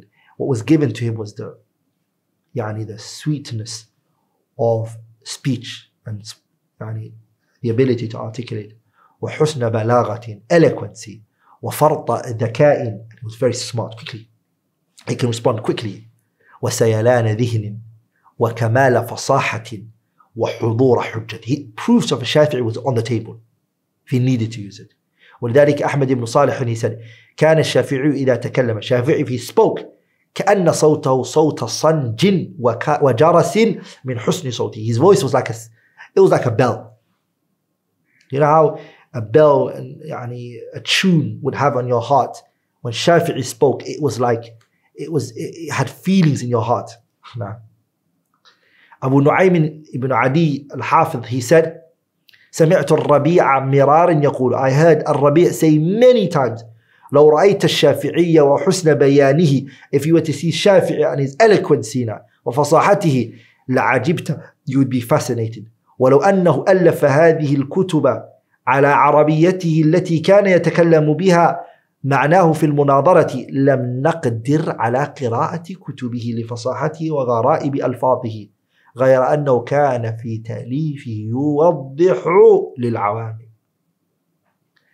Al-Rabi' ibn Sulaiman al-Muradi said, Shafi'i, if you were to see his eloquency and the way he spoke and how he was silver-tongued, it will fascinate you. Okay? And if Shafi'i was to write a book on the Arabic he spoke, and the Arabic that he would use for debates, no one would be able to read the works of Imam Shafi'i because of his eloquence, because of the high caliber of his language. غير أنه كان في تأليف when it came to his writing of his works he used to write it what يوضح للعام he used to write it for the general mass رحمه الله تعالى and even now والله when you read his works الله أكبر الله أكبر it's eloquence if this is يعني يعني في تأليف يوضح للعامي الله أكبر يعني عجيب يعني غ- يعني عجائب الربيع بن سليمان المرادي he said كان ل- كان لسان الشافعي أكبر من كتبه Shafi'i's tongue was bigger than his book by the way brothers and sisters it's actually the opposite for many people when they write they're eloquent when they speak they're not like that because remember when you're when you speak يعني you, you, you, you don't think about what you say per se you don't look for words صح so words that come out are what comes to mind at that point. But when it comes to writing you think about it you can mm, now let me change that word with this word. It, it, it comes about like that. Shafi'i it was the opposite. When it came to writing he would dumb down the language and he say no no let me use a simpler word. Let me not use this. Let me avoid this because people might not understand it. But when he spoke and Imam al-Shafi'i you eloquency, fasaha was on another level. Rather, even the ghara'ibu al-fadhihi, the strange words that he used that people have never heard of this word, was so much. ولذلك that's what الربيع بن سلمان المرادي من said. كان لسان الشافعي أكبر من كتبه لو رأيتموه لقلتم إن هذه ليست كتبه. If you saw him, you say, did you write these books? Did you write these books? عبد الملك ابن هشام اللغوي he said طالت مجالستنا our sittings with الإمام الشافعي was long للشافعي فما سمعت منه لحنة قط I never heard any grammatical mistakes that he did ذهبي said أن يكون ذلك how can that be how can how can it be وبمثله في الفصاحة يضرب المثل يعني how can it be he would do grammatical mistakes. How, why would he even do grammatical mistakes? When he is the example of eloquence, Shafi'i. كان أفصح قريش one of the most eloquent men of Quraysh في زمان at his time. وكان مما يؤخذ عنه اللغة. Shafi'i, if he said something, it was Arabic language. They wouldn't even ask. Shafi'i said it, it was like, that is Arabic, write it down. That's what the Arabs say. على مذهب أهل الكوفة, أهل الكوفة, they base more on the, the what is right and what is wrong and what is Arabic and what not. They base it upon the, the, the, the, the, the speech of the Arabs, right? أي نعم. أهل Basra are not really like that too much. So yes, write down what Shafi'i wrote, what, what Shafi'i said. Allahu Akbar. Ahmed ibn سريج الرازي said ما رأيت أحدا أفوه ولا أنطق من الشافعي. I haven't seen anyone more يعني eloquent and more well spoken than الإمام الشافعي. عبد الملك بن قريب الأصمعي he said أخذت شعر هذيل عن الشافعي. I took the poetry of Hudayl from الإمام الشافعي. Entire tribe. Their poetry, Shafi'i gave it to me. عبد الملك بن عبد الملك ibn قريب الأصمعي is who? He's إمام اللغة. He's إمام اللغة. He said I took شعر of the from Shafi'i. الزبير بن بكار what did he say? أخذت شعر هذيل ووقائعها ووقائع ووقائعها I took the uh, poetry of the people of Hudayl and you know the events and what took place in the historical uh, events عن عمي مصعب بن عبد الله from my uncle I took it from who my uncle مصعب بن عبد الله وقال أن مصعب بن عبد الله said أخذتها من الشافعي حفظا I took it from الإمام Shafi'i's memory he had it all in memory ابن عبد الحكم he said ما رأيت الشافعي يناظر أحدا إلا رحمته I've never seen Shafi'i debate with somebody except I said to myself may Allah have mercy upon that person ولو رأيت الشافعي يناظرك if you saw that Shafi'i was debating with you ولو رأيت الشافعي يناظرك لظننت أنه سبع يأكلك if you saw Shafi'i debating with you now it was like a يعني a predator eating you وهو الذي علم الناس الحجج Shafi'i was the one who taught the people حجة proofs go read his كتاب جماع العلم okay and الكتاب الرسالة which is يعني he, he, he makes it into a debate back and forth هارون ابن سعيد الأيلي he said لو أن الشافعي ناظر على أن هذا العمود الحجر خشب لغلب لاقتداره على المناظرة Shafi'i was able to eloquently point put across his argument so much so that if he wanted to convince you that this rock was actually wood, he would be able to do so. Ibn Wara said, قدمت من مصر, I came from Egypt. فأتيت أحمد بن حنبل, I came to Ahmad ibn Hanbal. فقال لي, he said to me, كتبت كتب الشافعي? Have you written from the works of Shafi'i? قلت لا, I said I didn't. He said, فرطت. Because he just came, Ibn Wara just came from Egypt. And he said, did you not write from the works of Imam Shafi'i? He said, no, I didn't. He said, فرطت, you forsaked a lot. ما عرفنا العموم من الخصوص وناسخ الحديث بمنسوخه حتى جلسنا الشافعية. Ahmed said, we didn't know the general text from the specific text. We didn't know the abrogated and the abrogator. We didn't know it until we sat with the Imam Shafi'i and he taught us this. And Ibn Wara then said, فحملني ذلك على الرجوع إلى المصر مصري إلى المصر sorry you can't say مصري it is ممنوع من الصرف إلى إلى مصر يعني فحملني ذلك على الرجوع this forced me to go to what إلى مصر to Egypt ها فكتبتها then I wrote it Actually, Ibn Wara said that statement of Ahmed ibn Hanbal saying that to me made me say, okay, you know I'm going to go back to Egypt. I went back to Egypt and I wrote from Imam al-Shafi'i. Muhammad ibn Yaqub al-Faraji, he said, سمعت علي ibn al-Madini, I heard Ali ibn al-Madini saying, عليكم بكتب الشافعي. Upon you is the works of Imam al-Shafi'i. ذهبي said, ومن بعض فنون هذا الإمام الطب فقد كان يدريه.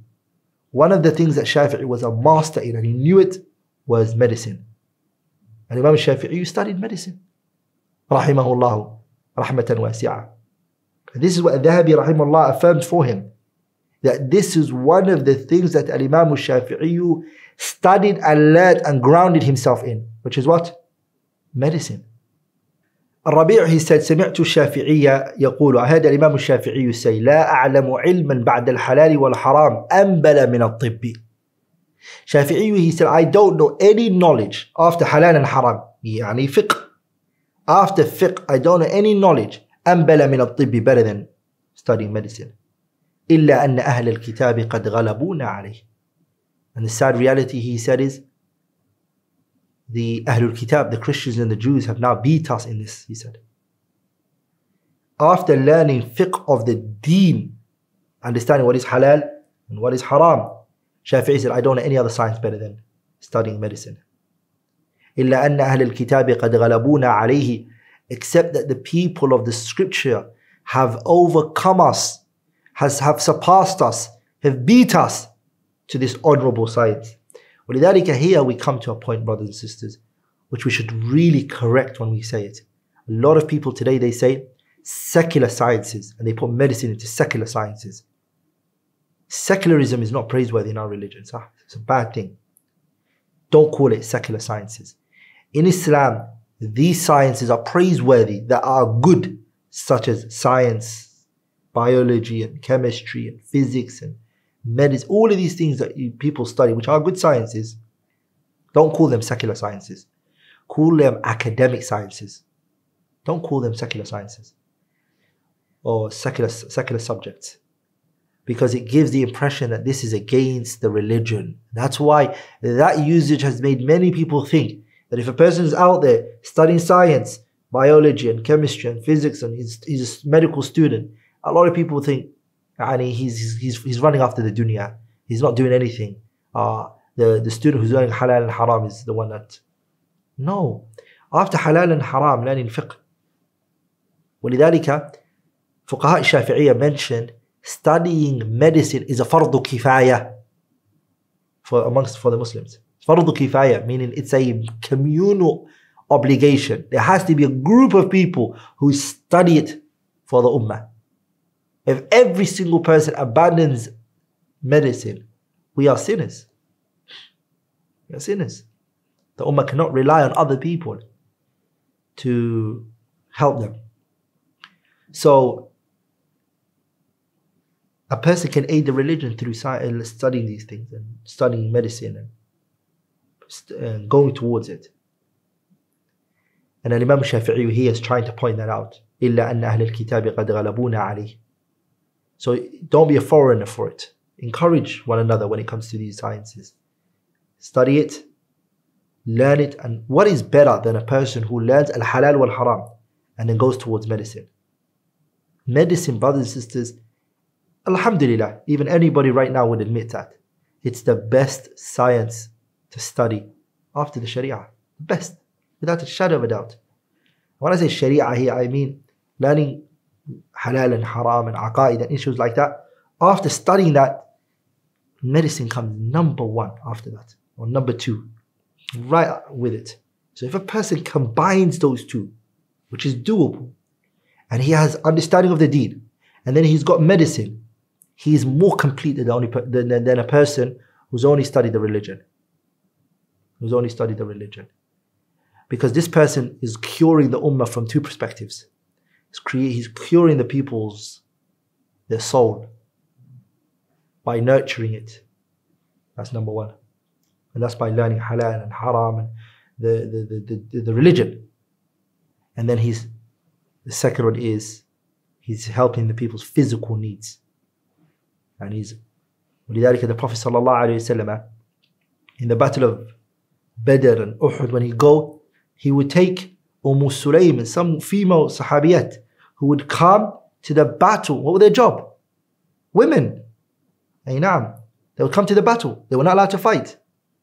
The women are not allowed to participate in the jihad. They are helping the jarha, the wounded. They're stopping the blood and this and that. If those people don't are not part of the, the soldiers and the army, and are not helping the, the, the, the, soldiers who are wounded and giving them what they need. The Muslim, how can it, how can it, how can the religion spread and how can the Muslims defend themselves? And and when you get sick and you become sick, you realize the value of these people, the medical.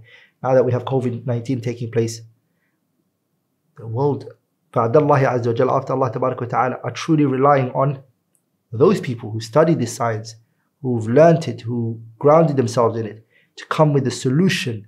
Ba'dallahi after Allah ta'ala for the, about them to come with a medical solution, a vaccine that's going to work, it's going to get rid of it. We're, we're, waiting from them. We're not waiting from uh, a person who studied halal and haram. No. We're for the medical students. So remember, من جهل shay'an adahu عاد أهله Like when you're ignorant, you show animosity to subject that you don't know. Maybe it's not what you know. And so you condemn it and you speak against it. Mus'ab ibn Abdullah, he said, ما رأيت أحدا أعلم بأيام الناس من الشافعي. I never saw anyone who knew more uh, but by the way, keep in mind, Shafi'i is an imam fil fiqh, imam fil hadith, and he goes towards medicine. Why would he do that? It's waste of time. Keep in mind, Shafi'i stayed away from philosophy, ilm al-kalam, and he condemned it. And he even said, my ruling regarding those people is ayudrabu bil jarid wal ni'al, that they should be bashed and beaten with branches and shoes. But when he came to tib, medicine, what did he say? He said, rahimahullah, uh, يعني ما رأيت أما لا أعلم علما بعد الحلال والحرام أنبل من الطب I don't know any of the science better than it after halal and haram and he said to the Muslims don't let the Ahlul Kitab overcome you on it so it shows you that Shafi'i rahimahullah ta'ala uh, was speaking from experience and knowledge and I already mentioned to you that he Imam Shafi'i was a person who knew Tib, as Dhahabi mentions. ومن بعض فنون هذا الإمام الطب فقد كان يدريه. Dhahabi said he knew it. Shafi'i knew it. Rahimahullah ta'ala. By the way if you look at the early scholars of Islam you don't see they dis- discriminate between knowledge. You know when you're thirsty for knowledge you don't just stop at one certain point. Everything you want to have an understanding of it right? Look at Shaykh Islam Taymiyyah. Everything he wanted to know. Everything he studied. Ali rahimahullah ta'ala. And a lot of things he studied. I can't say everything, but he studied so much at Imam Shaykh al-Islam ibn Taymiyyah. So يعني Ibn al-Qayyim, for example, student of Imam Shafi'i, uh, Imam Ibn Taymiyyah, he has a kitab called Tibb al-Nabawi. In there, if you look at it, he quotes يعني, the arteries, the veins, and how they work, and he goes into so much. Ibn al-Qayyim. He talks about your veins, cleaning the blood, circulation of the veins, it's kind of veg, yani, fruits that can be taken. He talks about types of movements that people, yani, things that you think, wow, of course, medicine evolved over time and it changes. These things are not going to stay the same way that they are. And the Muslim needs to keep up with it. The Muslim has to Keep up with it. Just like business and trading and investment changes. If you're a faqih, a alim, and you have to give fatwa on, on, on, on, on, business transaction and trading, you need to study the, the, yani, the development. You need to keep up with what's happening in the business world and, and, and how things are going. You have to keep up. If you lose a few weeks out of your schedule, you go out and you do other things, you come back, a lot has happened already. A lot has changed. That's why people come and simply ask you about what is Forex. Is it allowed? Is it not allowed? A person needs to keep track of how this entire yani, uh, type of business is working, the ins and the outs, and the historical progression, and where it started from, and how it came about. What is there's a lot of things you need to understand. Same applies with medicine. Same applies. Person needs to study on a regular basis. Things are changing. Look at just COVID 19. How many strains are we hearing about and variations? It's changing. This one, and another one's popping up, and then another one, and then another one. The doctors and the uh, students of medicine are yani, looking into it and every time coming with a new vaccine and altering and changing this and that. That's the same thing for a student of knowledge keeping track of these things. ولذلك if you look at the ulama of our time, Sheikh Abdul Aziz ibn Baz, Sheikh Muhammad ibn Salih al-Uthaymeen and others, and Sheikh al-Albani rahimahullah, what they did was, especially Sheikh ibn Uthaymeen, if you want, if you go online, there's a series uh, where he, students and medical students from different parts of the world came to him and they present to him questions regarding medical things. And they explain it to him. And he listens and he gives verdicts based on that. Okay, there's uh, Sheikh Al-Albani rahimahullah, a few re, yani, yani, researches have been done regarding his verdicts and his views on certain medical procedures that were presented to him by yani, reliable uh, doctors that came to him, gave him a clear reality of the situation, I explained it to him, and the Sheikh rahimahullah based his fatwas on those things. Uh, not just that, that, not just that, the qararat that have come from, the verdicts that have also come from, um, from the majami' al-fiqhiyah, um, the fiqh committees like Al-Azhar, like Hayat Kibar al-Ulama, like Rabit Alim Islami. There is books compiled by their fatwas on yani, uh, medical. So Islam has, a, has had a, it's part of it's part of our religion to know the do's and the don'ts. Not only just that, having Muslims that can come to those ulama and explain it to them if the alim doesn't know. And it would even be better if the scholar knows both of them and combines the two so that the people uh, can have a clearer uh, understanding. I mean, imagine if we had a bona fide alim who was also a scholar in medicine right now. And he, he told us about what's taking place with the COVID and how is it going and do you think do you think people would have a lot of issues with the vaccine? They'll trust this scholar who they know is alim al-rabbani and the then the vaccine.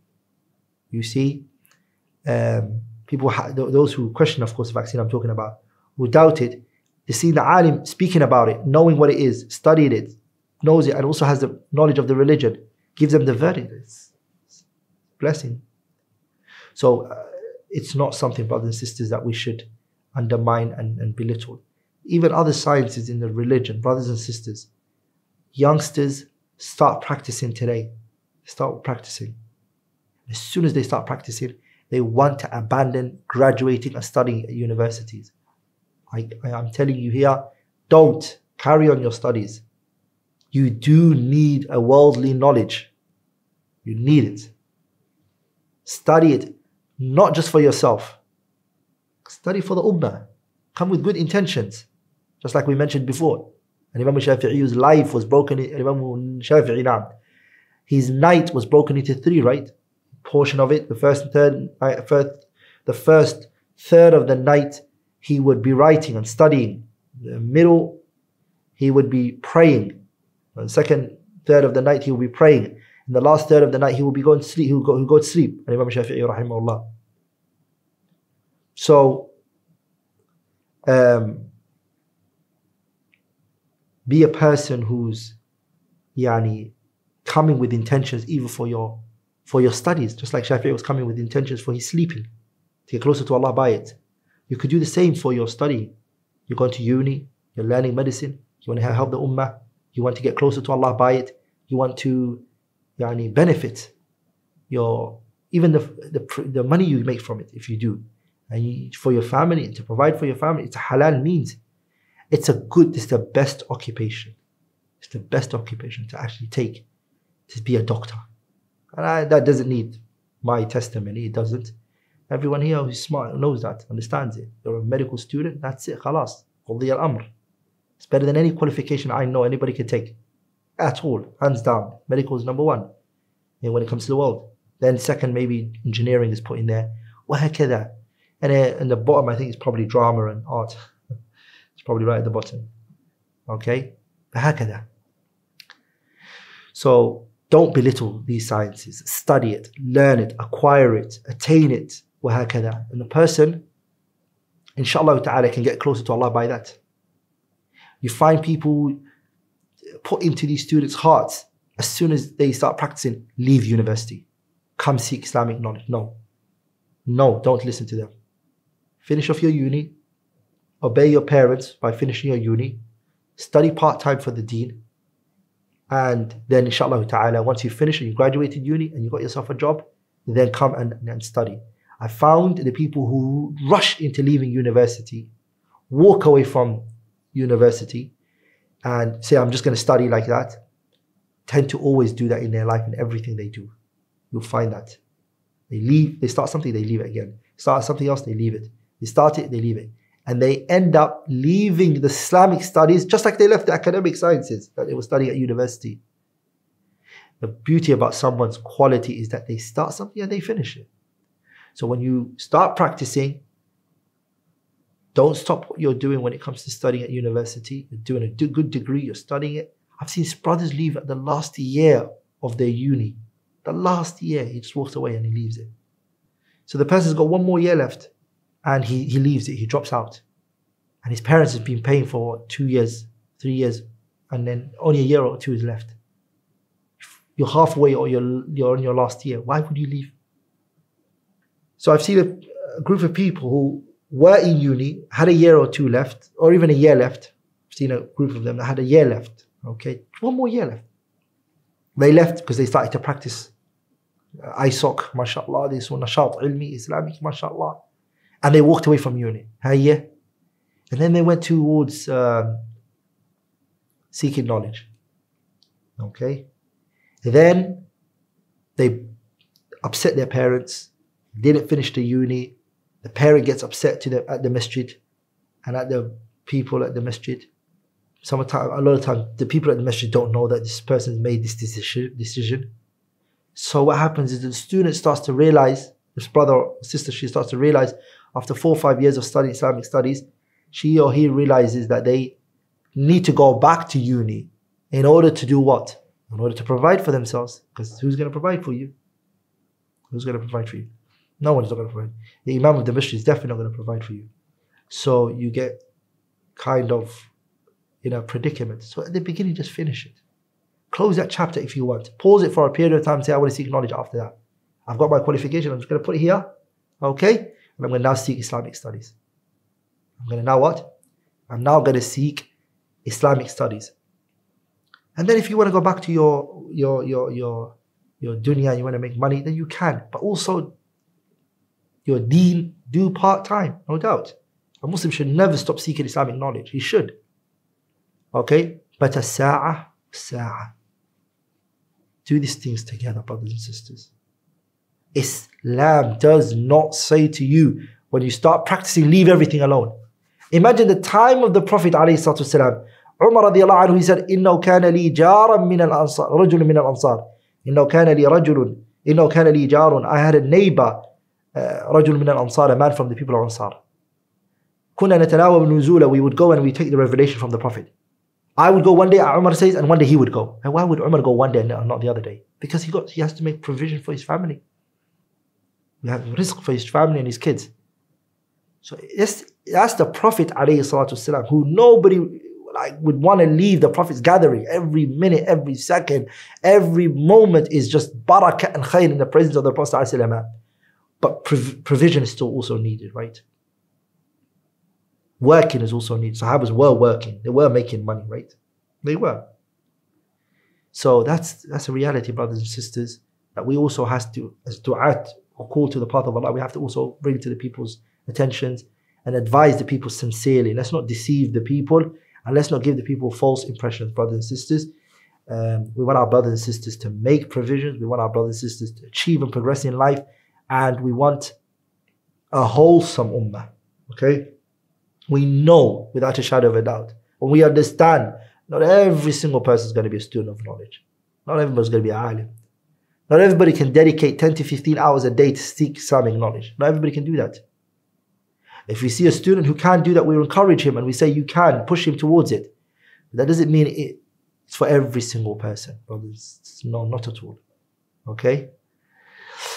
Al Imam ibn Surayj, he mentions, before I mention his quote, what I remember is the quote of Imam Yunus al-Sadafi. He said, كان الشافعي إذا أخذ في أيام الناس قلت هذه الصناعة.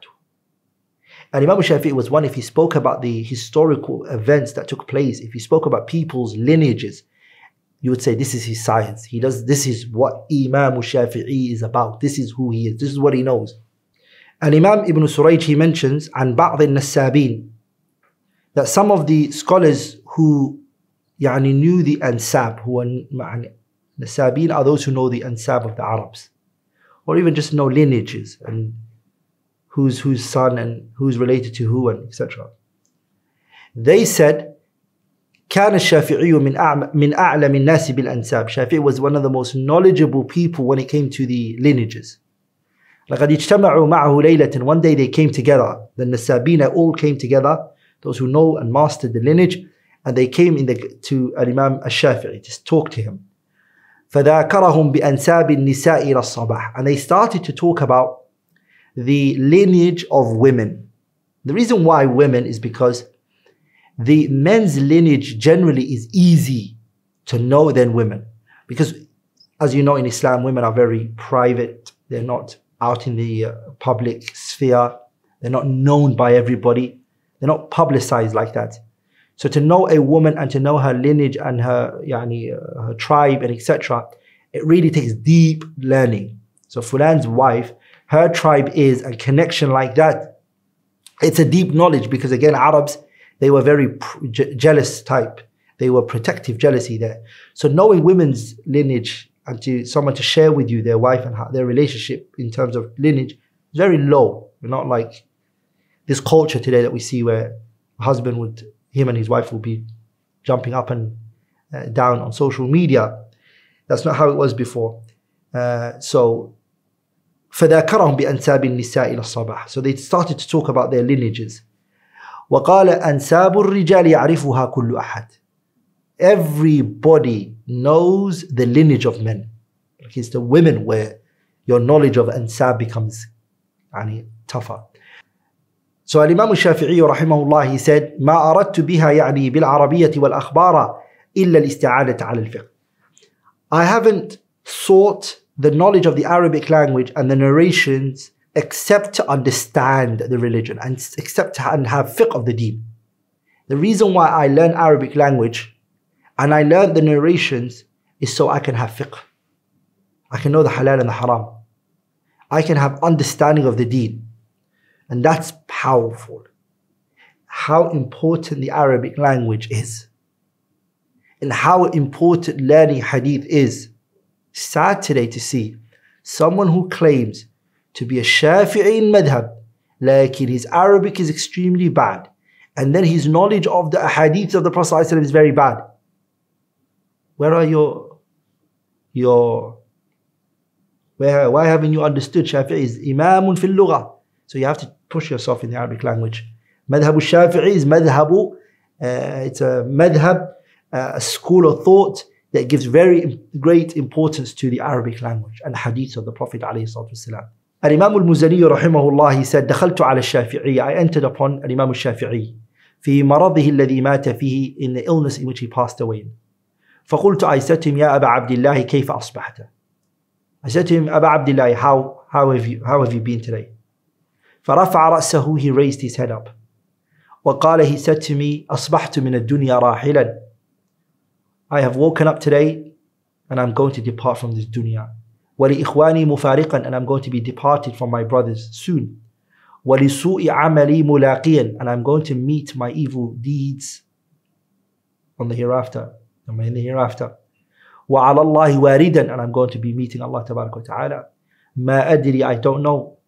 روحي تصير إلى جنة فأهنئها. I don't know.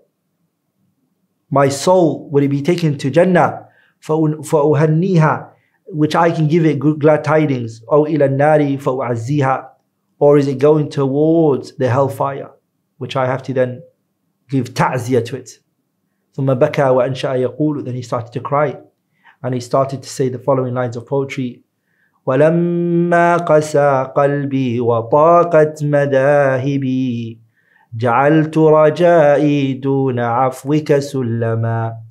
تعاظمني ذنبي فلما قرنته بعفوك ربي كان عفوك أعظما. فما زلت ذا عفو عن الذنب لم تزل.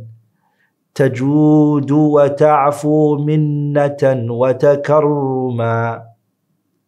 He said, when my heart ولما قسى قلبي وضاقت مذاهبي جعلت جعلت رجائي دون عفوك سلما يعني Shafi'i is saying when my heart became and darkened and everything became tight on me I started to make my hope based I made my hope a ladder towards your forgiveness Ya Rab I started to think about تعاظمني ذنبي فلما قرنته my sins when I looked at it and I pondered over it it became so much to me I realized how much sins I've done but then I compared it to what فلما قرنته بعفوك but when I compared my sins to your forgiveness كان عفوك أعظم I realized your forgiveness is more and bigger than my actual sins فما زلت فما زلت oh Allah you, you always have been ذا عفو عن الذنب لم تزل you've always been one who forgives sins and shortcomings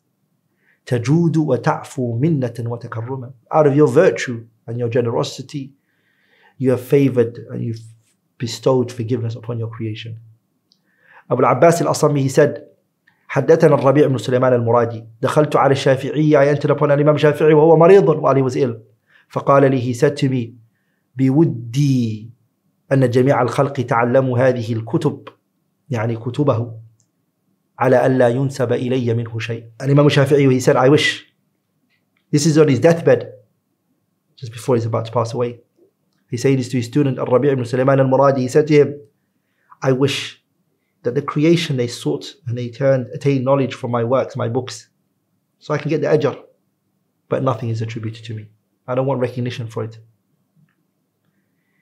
that was on a Sunday and then Imam Shafi'i passed away on a, on a Thursday um, and his janazah was done on a Friday and Shafi'i passed away وله نيف وخمسون سنة he had 50 something years of age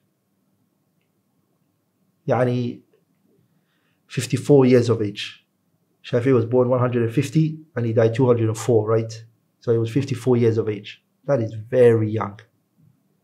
The great Imam whose madhab is followed and Imam Shafi'i he passed away and he died at the age of 54 rahimahullah rahmatan wasi'ah that is a very very young age المبرد كان الشافعي من أشعر الناس وآدب الناس وأعرافهم وأعرفهم بالقراءات Shafi'i was the most knowledgeable when it came to poetry. He was the most, well-mannered person and he was the most knowledgeable, I one of the most knowledgeable when it came to the qira'at of the Quran. Yunus ibn Abdul A'la, he said, كان الشافعي إذا أخذ في التفسير كأنه شهد التنزيل Shafi'i was so great and so grounded in the tafsir of the Quran that if he was to talk about the tafsir of the Quran, it was like he was there when the revelation came down. Al-Za'farani, one of the students of Imam al-Shafi'i in Iraq, he said, قدم Za'farani said, قدم علينا الشافعي بغداد. Shafi'i came and visited us in Baghdad. في سنة خمس وتسعين فأقام عندنا شهرا ثم خرج. He stayed with us for a month and he left. By the way, Za'farani was the one who used to read on, on an Imam Shafi'i when he used to teach. An Imam Shafi'i كان يخضب بالحناء he used to place henna on his bed. وكان خفيف العارضين and his bed was a bit thin from the sides. رحمه الله Ibn Majah mentions he said جاء يحيى بن معين إلى أحمد بن حنبل Yahya ibn Ma'in came to Ahmad ibn Hanbal.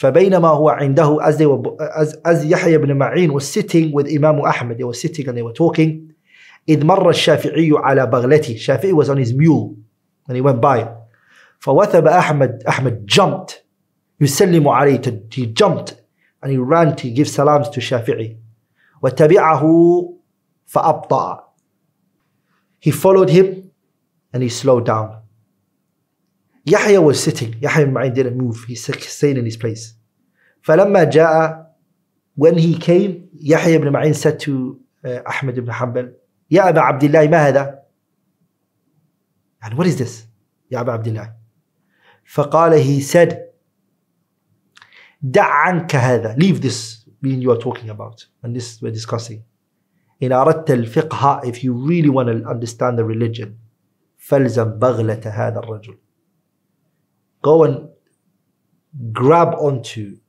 stick to the mule of Shafi'i. And Imam Shafi'i, we said, Al-ilmu ma nafa', laysa al-ilmu ma hufidh. Imam Shafi'i, we said, knowledge is what is benefits you. Knowledge is not what's memorized. He also said, Al-labib al-aqilu huwa al-fatinu al-mutaghafil. The smart, clever person is the one who is sharp-minded and aware, but is also heedless. الإمام الشافعي also said, لو أعلم أن الماء البارد ينقص مروءتي ما شربته. Shafi'i said, if I was to know that drinking cold water will put my, my dignity down, I would not drink it the importance of having high morals. Ibrahim ibn Muhammad al-Shafi'i, he said, ما رأيت أحدا أحسن صلاة من الشافعي. I don't know anyone who knew the salah and was better in praying than Imam al-Shafi'i. وذاك أنه أخذ من مسلم ibn Khalid al-Zanji. The reason to that is because he took from Muslim ibn Khalid al-Zanji. And Muslim ibn Khalid took from who? He took from Ibn Jurayj. And Ibn Jurayj took from Ata. And Ata took from Ibn Zubayr. And Ibn Zubayr took from Abi Bakr radiallahu ta'ala anhu and Abu Bakr as-Siddiq took from the Prophet alayhi salatu. There's a kitab written by Imam al-Khatib al-Baghdadi rahimahullah. And in there, Imam al-Khatib al-Baghdadi, he mentions this, the knowledge of Imam al-Shafi'i, his virtue, how great of a person he is. And in there he said a line of poetry which is أبى الله إلا رفعه وعلوه وليس لما يعليه ذو العرش واضعه Allah refused except to raise an Imam al-Shafi'i. And anyone who Allah cho- chooses subhanahu wa ta'ala to raise them, then there is no one to put them down. And Imam al-Dhahabi, he said, لا نلام والله على حب هذا الإمام. Wallahi, we're not going to be blamed for loving this great Imam. لأنه من رجال الكمال في زمانه رحمه الله. Because he is considered to be the complete man of his time. Imam al-Shafi'i رحمه الله. I'm going to conclude there. Anything which I have said that was wrong or incorrect is from me and shaitan, and Allah and His Messenger are both free from it. سبحانك اللهم وبحمدي أشهد أن لا إله إلا الله أستغفرك وأتوب إليه. we're now teaching exclusive live online classes to our students via Patreon. We have three classes every single week a beginner's class, an intermediate class, and an advanced class which is taught in Arabic. If you want to find out more details and are interested in joining, then head over to patreon.com forward slash AMAU.